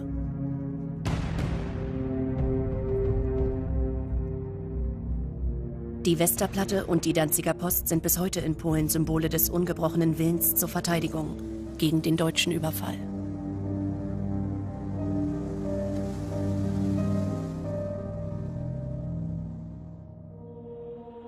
Bydgoszcz, zu Deutsch Bromberg. Vor dem Ersten Weltkrieg, vor der Wiedergründung Polens, gehörte die Stadt zum Deutschen Kaiserreich. Danach blieb hier eine große deutsche Minderheit. 9000 Deutsche unter 100.000 Polen. In den 30er Jahren verschlechterten sich die Beziehungen zwischen Deutschen und Polen in Bydgoszcz. Julian Dryschak lag hinter einem Zaun im Kartoffelfeld, ohne Kopf. Er hatte nur noch das rechte Ohr dran, ein Stück Hals und den Rumpf. Mord an polnischen Zivilisten. Die deutsche Propaganda erklärte die Opfer zu Tätern. Eine der ersten Aufgaben ist die Säuberung der Ortschaften von dem verhetzten polnischen Mob, der von der polnischen Regierung zum hinterhältigen Freischärlerkampf gegen die deutschen Soldaten aufgestachelt wurde. Im Lesesaal des Deutschen Historischen Instituts in Warschau. Der Historiker Dr. Jochen Böhler erforscht die Einsätze der Wehrmacht in Polen, auch den in Torzeniec. Torzeniec ist nur ein Beispiel für hunderte weitere, die sich in Polen 1939 ereigneten. Was allen Fällen gemeinsam ist, dass bei einer nachdenklichen Untersuchung der Ereignisse keine Schuldigen gefunden werden konnten. Das heißt, was äh, nach Abklingen der Schießerei passiert ist, dass aus der Bevölkerung wahllos Männer herausgegriffen werden, die für den vermeintlichen Überfall verantwortlich gemacht werden. Die Opferzahlen, die im September 1939 ähm, äh, zu verzeichnen sind, gehen in die Tausende. Berlin.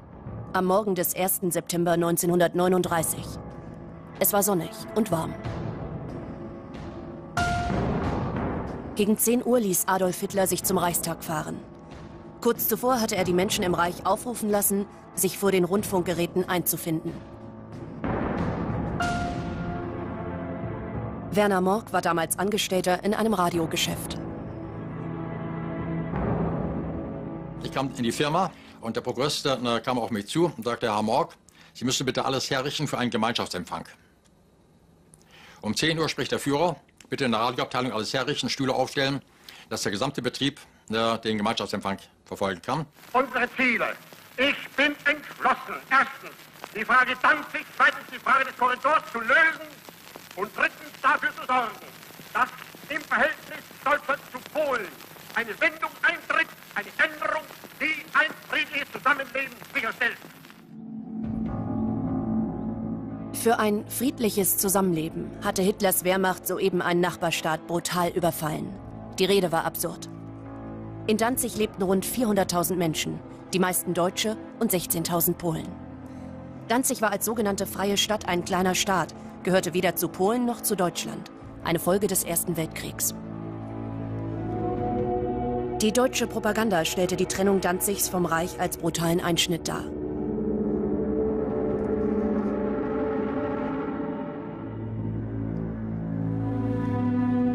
Die freie Stadt Danzig hatte ein eigenes, frei gewähltes Parlament. Wielun lag nur 21 Kilometer hinter der Grenze.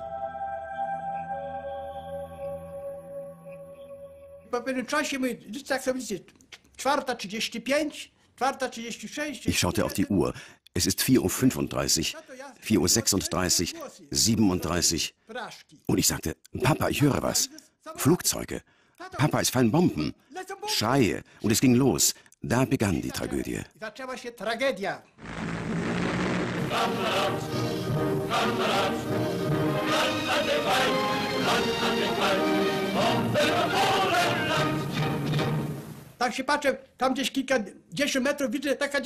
Ich sehe, dass ein paar Meter entfernt ein Mädchen liegt. Auf der Straße. Ich laufe los. Papa sagt, wohin willst du? Aber ich laufe schon. Ich hebe das Mädchen hoch. Es war fünf, vielleicht sechs Jahre alt. Schwarze Haare, diese Augen und das ganze Gesicht voll Blut. Sie war vielleicht das erste Opfer des Zweiten Weltkriegs. Ich will nicht den Kampf gegen Frauen und Kinder führen. Ich habe meiner Luftwaffe den Auftrag gegeben, sich auf militärische Objekte bei ihren Angriffen zu beschränken. 1200 Zivilisten, Kinder, Frauen, Männer, starben bei dem Angriff auf Wielun. So begann der Krieg gegen wehrlose Menschen. Und ich dachte, warum musste das geschehen? Ich fragte, Papa, warum? Lass uns darüber jetzt nicht reden. Später, später. Du siehst ja, was hier passiert. Schreie, rufe um Hilfe. Luftangriffe auf Polen waren von der Wehrmachtsführung von vornherein nicht als rein militärische Angriffe geplant, sondern als Terrorangriffe. In den ersten Tagen und Wochen des äh, Krieges in Polen wurden Hunderte von polnischen Ortschaften von der deutschen Luftwaffe bombardiert, ganz äh, unabhängig von der Frage, ob sie mit äh, polnischen Soldaten besetzt waren oder nicht. Das heißt, eine Unterscheidung zwischen militärischen und zivilen Zielen fand von vornherein gar nicht statt. Die Westerplatte, das polnische Munitionsdepot an der Ostseeküste bei Danzig. 4.45 Uhr. Fünf Minuten nach den ersten Bomben auf Wielun brach auch hier der deutsche Angriff los. Und auf einmal hörte ich so ein Donnern. Ich dachte, es wäre Gewitter. Aber dass man donnert und die Fenster sind auf, mein Vater und meine Mutter liefen hin und her und da sagt mein Vater, siehst du, ich habe recht gehabt, das ist der Krieg. Und dann sprang ich auf, wurde ich wach, sprang aus dem Bett raus, ging ans Fenster und dann hörten wir schon dieses Schießen nicht? von der Schleswig-Holstein.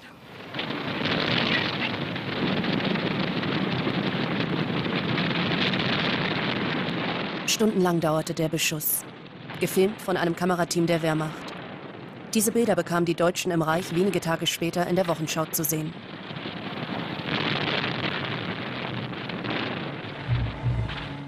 In der knapp vier Auf einmal gab es dann das Feuerkommando.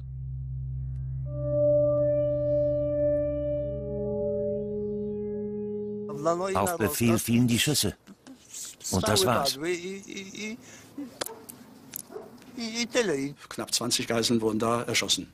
Und das war natürlich für mich als 16-Jährigen ein, ein Schock, sowas, sowas mal erleben zu müssen. Und habe gemacht, dass ich äh, wegkam. Sie haben diese Schau mit Absicht veranstaltet. Es waren ja viele Menschen auf dem Marktplatz.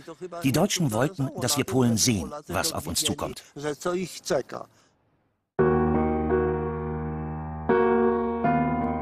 Was auf sie zukommt. Besonders für die Juden in Polen sollte der deutsche Überfall zur Katastrophe werden.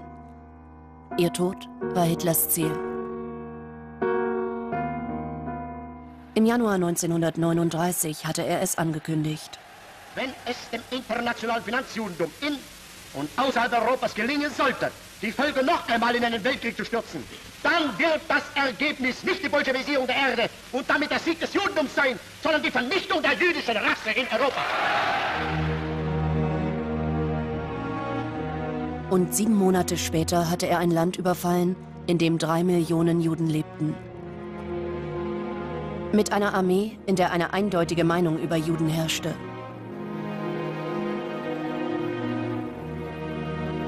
In Direktiven, die vor dem Angriff äh, den Soldaten verlesen worden waren, wird tatsächlich darauf abgezielt, dass äh, gerade den polnischen Juden nicht zu trauen sei, dass von ihnen eine Gefahr für die Truppe ausgehen würde. Die äh, Briefe der Soldaten und die Kriegstagebücher sind gespickt von antisemitischen und antislawischen Vorurteilen. Polnische Juden werden als schmierig und dreckig bezeichnet. Es wird vermutet, dass äh, die polnischen Juden die Trinkwasservorräte, äh, auf die die Wehrmacht angewiesen ist, vergiftet. Sie werden als hinterhältig und meuchlerisch bezeichnet und äh, generell einer niedrigeren Lebensstufe zugeordnet. Pultusk, eine Kleinstadt nördlich von Warschau. Ort eines der Verbrechen, die aus dem Judenhass hervorgingen. Heute leben keine Juden in Pultusk. 1939 waren es mehr als 800. Von Wehrmachtssoldaten wurden sie über den Narew getrieben. Frauen und Kinder durften über die Brücke. Männer mussten schwimmen, durften aber nicht an Land. Schwammen hin und her bis zum Ertrinken. Die Soldaten schossen von der Brücke auf sie. Niemand weiß, wie viele Menschen hier ertranken oder erschossen wurden. Eines von unzähligen Verbrechen an Juden in Polen. Wenn deutsche Truppen anrückten, änderte sich in den Städten für die Juden alles. Sie wurden zu Freiwild, nicht nur für Soldaten. Beim Einzug in Lodz wurden die Truppen von der volksdeutschen Bevölkerung mit großem Jubel empfangen. Polen war bereit, sich gegen Deutschland zu verteidigen.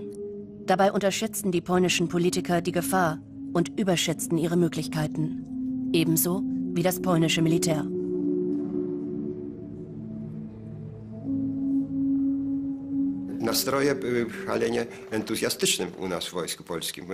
Die Stimmung bei uns im polnischen Militär war sehr enthusiastisch. Wir waren doch so erzogen worden, dass das polnische Militär stark sei. Wir würden, wie es Minister Beck sagte, nicht einmal einen Knopf abgeben. Wir jungen Offiziersanwärter waren überzeugt, dass wir auf jeden Fall starken Widerstand gegen die Deutschen leisten werden. Doch die polnische Armee ist von Anfang an viel zu schwach, um allein gegen die Deutsche bestehen zu können. Nicht einmal halb so viele Soldaten, nicht einmal halb so viele Waffen. Und sie war nicht auf dem neuesten Stand. Jahrelang war die Modernisierung vernachlässigt worden. Vor lauter Selbstvertrauen. Das Kriegsfotoalbum des Gebirgsjägers Franz Schall. Er erlebte, mit welcher Geschwindigkeit die deutsche Armee durch die Reihen der polnischen brach. Es hat ihn fast das Leben gekostet. Und wieder geht's durch die polnischen Weiten. Und Sie müssen sich vorstellen, von oben runter aufs geschossen. Die Polen waren vollkommen überrascht, die sind dann davon und haben auf uns geschossen. Wir sind mit ungefähr 80 Kilometer schießend und schreiend, Tode und so weiter, waren haufenweise da. Sind wir dann in einer Sturmfahrt nach Lemberg gefahren. So schnell war die Sturmfahrt, dass die Gebirgsjäger bald weit jenseits der Front standen, auf ihrem Weg nach Lemberg. Plötzlich befanden sie sich allein im Osten, abgeschnitten von der Hauptstreitmacht. Lemberg, die größte Stadt Ostpolens, wurde von starken Einheiten verteidigt. Aber Franz Schall sollte nie nach Lemberg hineingelangen. Schon vor der Stadt kamen er und seine Kameraden nicht weiter. Auf die Sturmfahrt folgt der Stellungskrieg. Draußen, auf den Feldern. Neben dem Gewehr war der Spaten das wichtigste Instrument, das wir gehabt haben. Wir haben uns da fast jeden Tag eingraben müssen. Jeden Tag hast du dir ein Loch geschaufelt und hast dich reingelegt.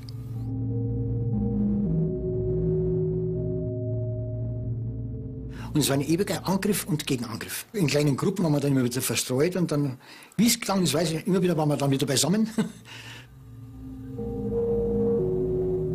Und dann ging es wieder los.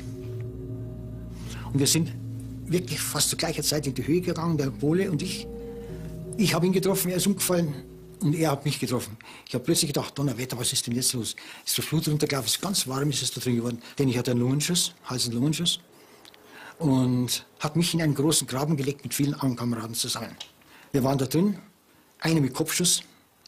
Als 30.000 verwundet. Dlatego też ja na przykład Ich konnte mich mit der Kapitulation nicht abfinden. Wir alle waren verzweifelt, alle weinten. Wir konnten es nicht begreifen, dass wir die Unabhängigkeit verloren hatten, dass. Besatzungstruppen jetzt in Warschau einmarschierten. 30 Danach kämpfen Teile der polnischen Armee noch bis zum 6. Oktober. Dann gingen 700.000 Mann in deutsche Kriegsgefangenschaft und 230.000 in sowjetische. Das bedeutete Zwangsarbeit, Hunger, Tod. 66.000 polnische Soldaten waren gefallen, mehr als 130.000 verwundet. Die Wehrmacht hatte der Krieg 10.000 Tote und 30.000 Verwundete gekostet. Deutschland und die Sowjetunion teilen Polen nun auf, wie vor dem Krieg vereinbart. Im Westen annektierte das Deutsche Reich große Teile Polens. Deutsche kamen nun als Siedler in die besetzten Gebiete.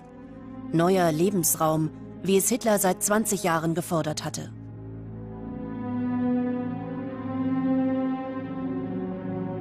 Bevor die deutschen Siedler eintrafen, waren die Polen, die hier gelebt hatten, brutal vertrieben worden.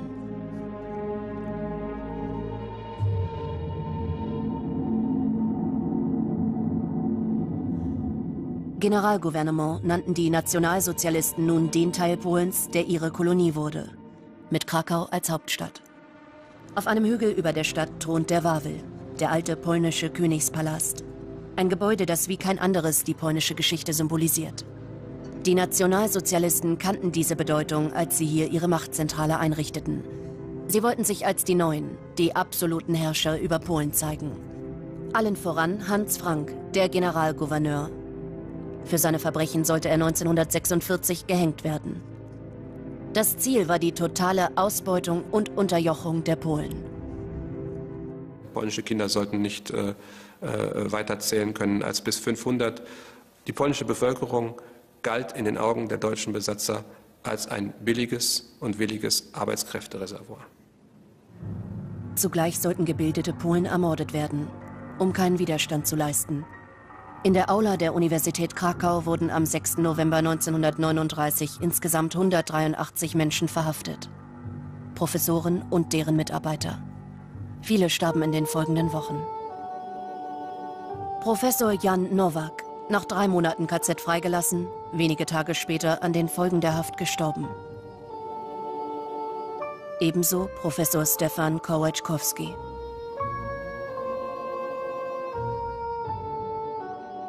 Ab November wurden die Juden in Ghettos gesperrt. Reit.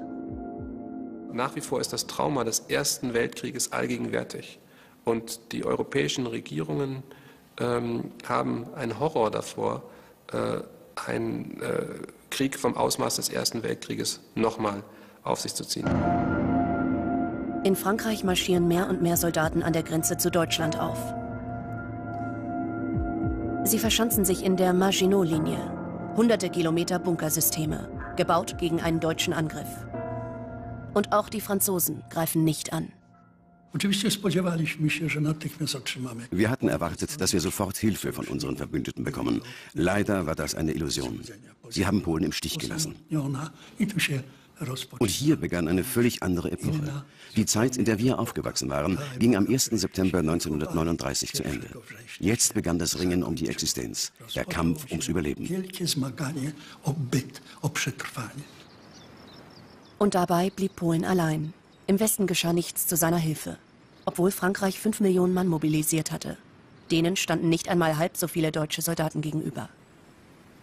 Schon bald zeigte die deutsche Propaganda, wie wenig ernst sie die Westfront nahm. Lautsprecher werden in Stellung gebracht, mit denen für die französischen Soldaten Musikstücke, unterbrochen von Nachrichten und Mitteilungen in ihrer Muttersprache, übertragen werden. Die Musik aus den deutschen Lautsprechern lockt die Franzosen aus ihren Bunkern.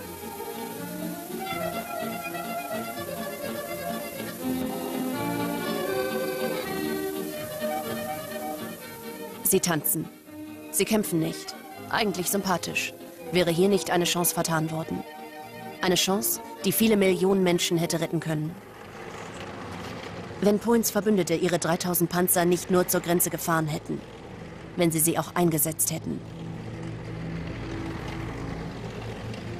Wenn Franzosen und Briten angegriffen hätten. Alles wäre anders gekommen. Mit Sicherheit. Wir wissen doch, wie das Kräfteverhältnis auf beiden Seiten war. Deutschland war 1939 absolut nicht auf einen Krieg an zwei Fronten vorbereitet. Wir können davon ausgehen, dass ein Zwei-Fronten-Krieg zur Niederlage Deutschlands geführt hätte. Eine deutsche Niederlage? Schon Ende 1939? Vielleicht Anfang 1940? Der Krieg, den Deutschland angefangen hatte, sollte noch fast sechs Jahre dauern und 60 Millionen Menschenleben kosten. Zurück nach Bethgorscht, Bromberg. Zwei Tage nach dem Blutsonntag marschierte die Wehrmacht ein, über die Danziger Straße. Die polnische Armee hatte sich zurückgezogen. Die polnischen Einwohner waren ohne Schutz.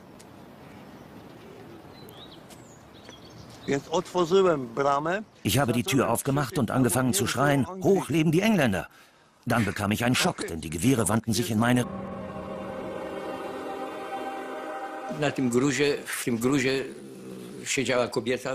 Unter den riesigen Trümmern lag eine Frau. Wir konnten nur ihren Kopf sehen und ihre Schulter. Sie weinte schrecklich. Sie rief, dass wir sie retten, sie ausgraben sollen. Aber wir konnten gar nichts tun. Alles wäre eingestürzt.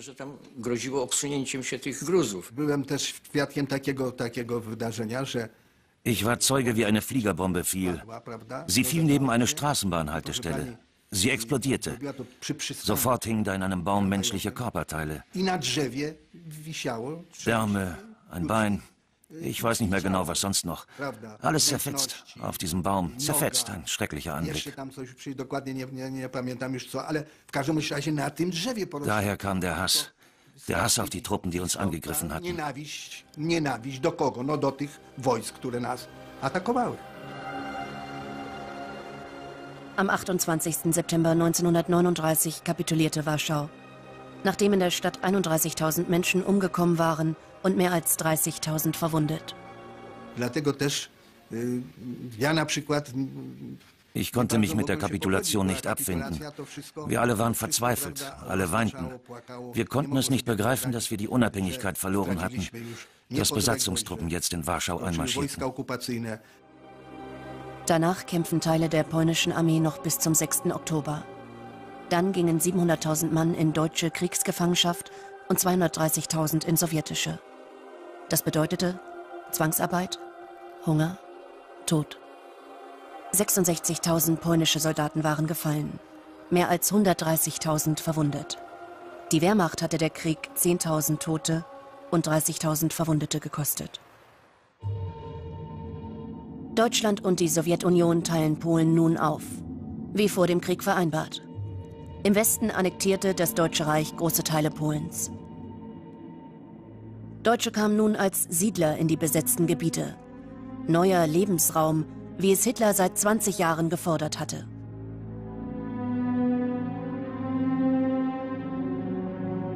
Bevor die deutschen Siedler eintrafen, waren die Polen, die hier gelebt hatten, brutal vertrieben worden.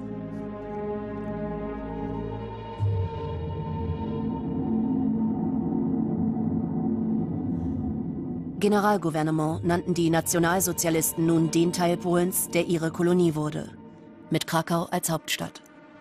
Auf einem Hügel über der Stadt thront der Wawel, der alte polnische Königspalast. Ein Gebäude, das wie kein anderes die polnische Geschichte symbolisiert. Die Nationalsozialisten kannten diese Bedeutung, als sie hier ihre Machtzentrale einrichteten. Sie wollten sich als die Neuen, die absoluten Herrscher über Polen zeigen. So ist der Krieg. Es geht nur darum, möglichst viele Feinde zu erschießen und nicht in Gefangenschaft zu geraten. Da kam im Straßengraben ein polnischer Soldat mit erhobenen Händen uns entgegen. Und äh, der Leutnant zog die Pistole und erledigte ihn. Und wir, die, wo da drauf saßen, die hatten äh, kein besonders gutes Gefühl. Und als beim nächst, bei dem Angriff auf das Dorf dann dieser Leutnant als einziger fiel, dann war eigentlich äh, für alle die Welt wieder in Ordnung.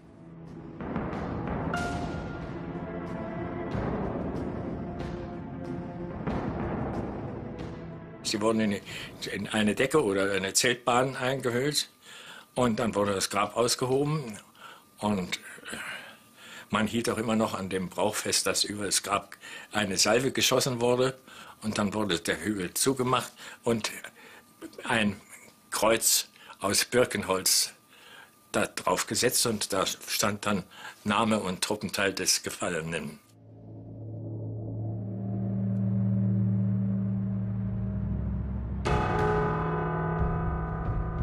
Fünf Monate vor dem Überfall feierte Hitler in der Reichshauptstadt seinen 50. Geburtstag. Dazu ließ er die Armee aufmarschieren, die er sich geschaffen hatte. 100.000 Soldaten hatte Deutschland 1933, als Hitler an die Macht kam. Sechs Jahre später waren es viereinhalb Millionen. Wenige Tage vor seinem Geburtstag hatte Hitler dem Oberkommando der Wehrmacht befohlen, den sogenannten Fall Weiß vorzubereiten, den Angriff auf Polen. Mit der größten, stärksten und modernsten Armee Europas. Im März 1939 hatte Hitler seine Truppen schon einmal eingesetzt, ohne einen Schuss abzufeuern. In Prag. Die Wehrmacht besetzte die Stadt und den tschechischen Teil der Tschechoslowakei. Er wurde zum deutschen Reichsprotektorat Böhmen und Mähren.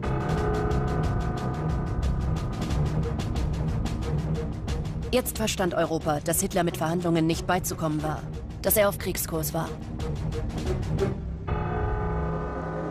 In Warschau beobachteten die Polen die deutsche Expansion mit Sorge. Auch die immer schärferen Forderungen Deutschlands nach Danzig und nach Teilen Westpolens. Anfang Mai tagt der Sejm, das polnische Parlament. Außenminister Josef Beck spricht zu den Abgeordneten und zum ganzen Volk. That no such undertaking has been received and that consequently this country is at war with Germany. We in France are today, in fulfillment of our obligations, going to the aid of Poland, who is so bravely resisting this wicked and unprovoked attack upon her people. Frankreich zog wenige Stunden später nach. Auch Premierminister Edouard Daladier erklärte Deutschland den Krieg, wie in einer Beistandsverpflichtung mit Polen vereinbart. Die Hoffnungen, die Polen auf Paris und London setzten, waren groß. Sie sollten schwer enttäuscht werden. Polen war nicht darauf vorbereitet, sich alleine gegen Deutschland zu verteidigen. Polen war auf einen Koalitionskrieg vorbereitet, also darauf, dass 15 Tage nach der Kriegserklärung Frankreichs und Englands eine Großoffensive im Westen starten würde. Das Ziel Polens war es, eine möglichst große Anzahl deutscher Armeen zu binden. Sogar um den Preis riesiger Verluste und des Durchbruchs der Wehrmacht sollten so viele deutsche Soldaten in Polen aufgehalten werden, damit England und Frankreich ungehindert angreifen und nach Berlin kommen konnten.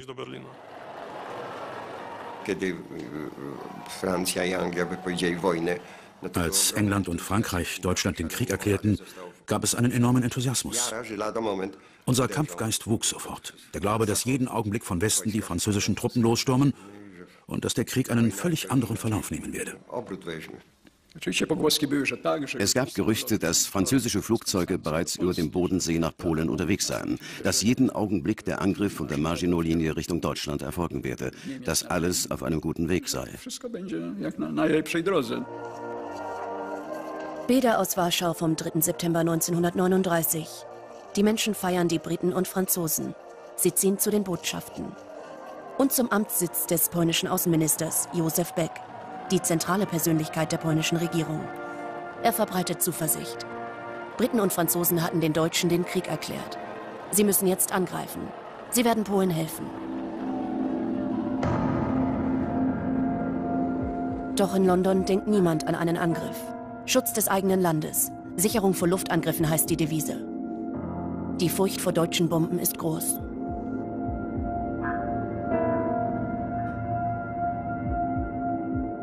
Kinderlandverschickung schon Anfang September 1939. Zehntausende verlassen die Städte. Zum Angriff ist Großbritannien nicht bereit. Nach wie vor ist das Trauma des Ersten Weltkrieges allgegenwärtig. Und die europäischen Regierungen ähm, haben einen Horror davor, äh, einen äh, Krieg vom Ausmaß des Ersten Weltkrieges nochmal auf sich zu ziehen. In Frankreich marschieren mehr und mehr Soldaten an der Grenze zu Deutschland auf. Sie verschanzen sich in der Maginot-Linie,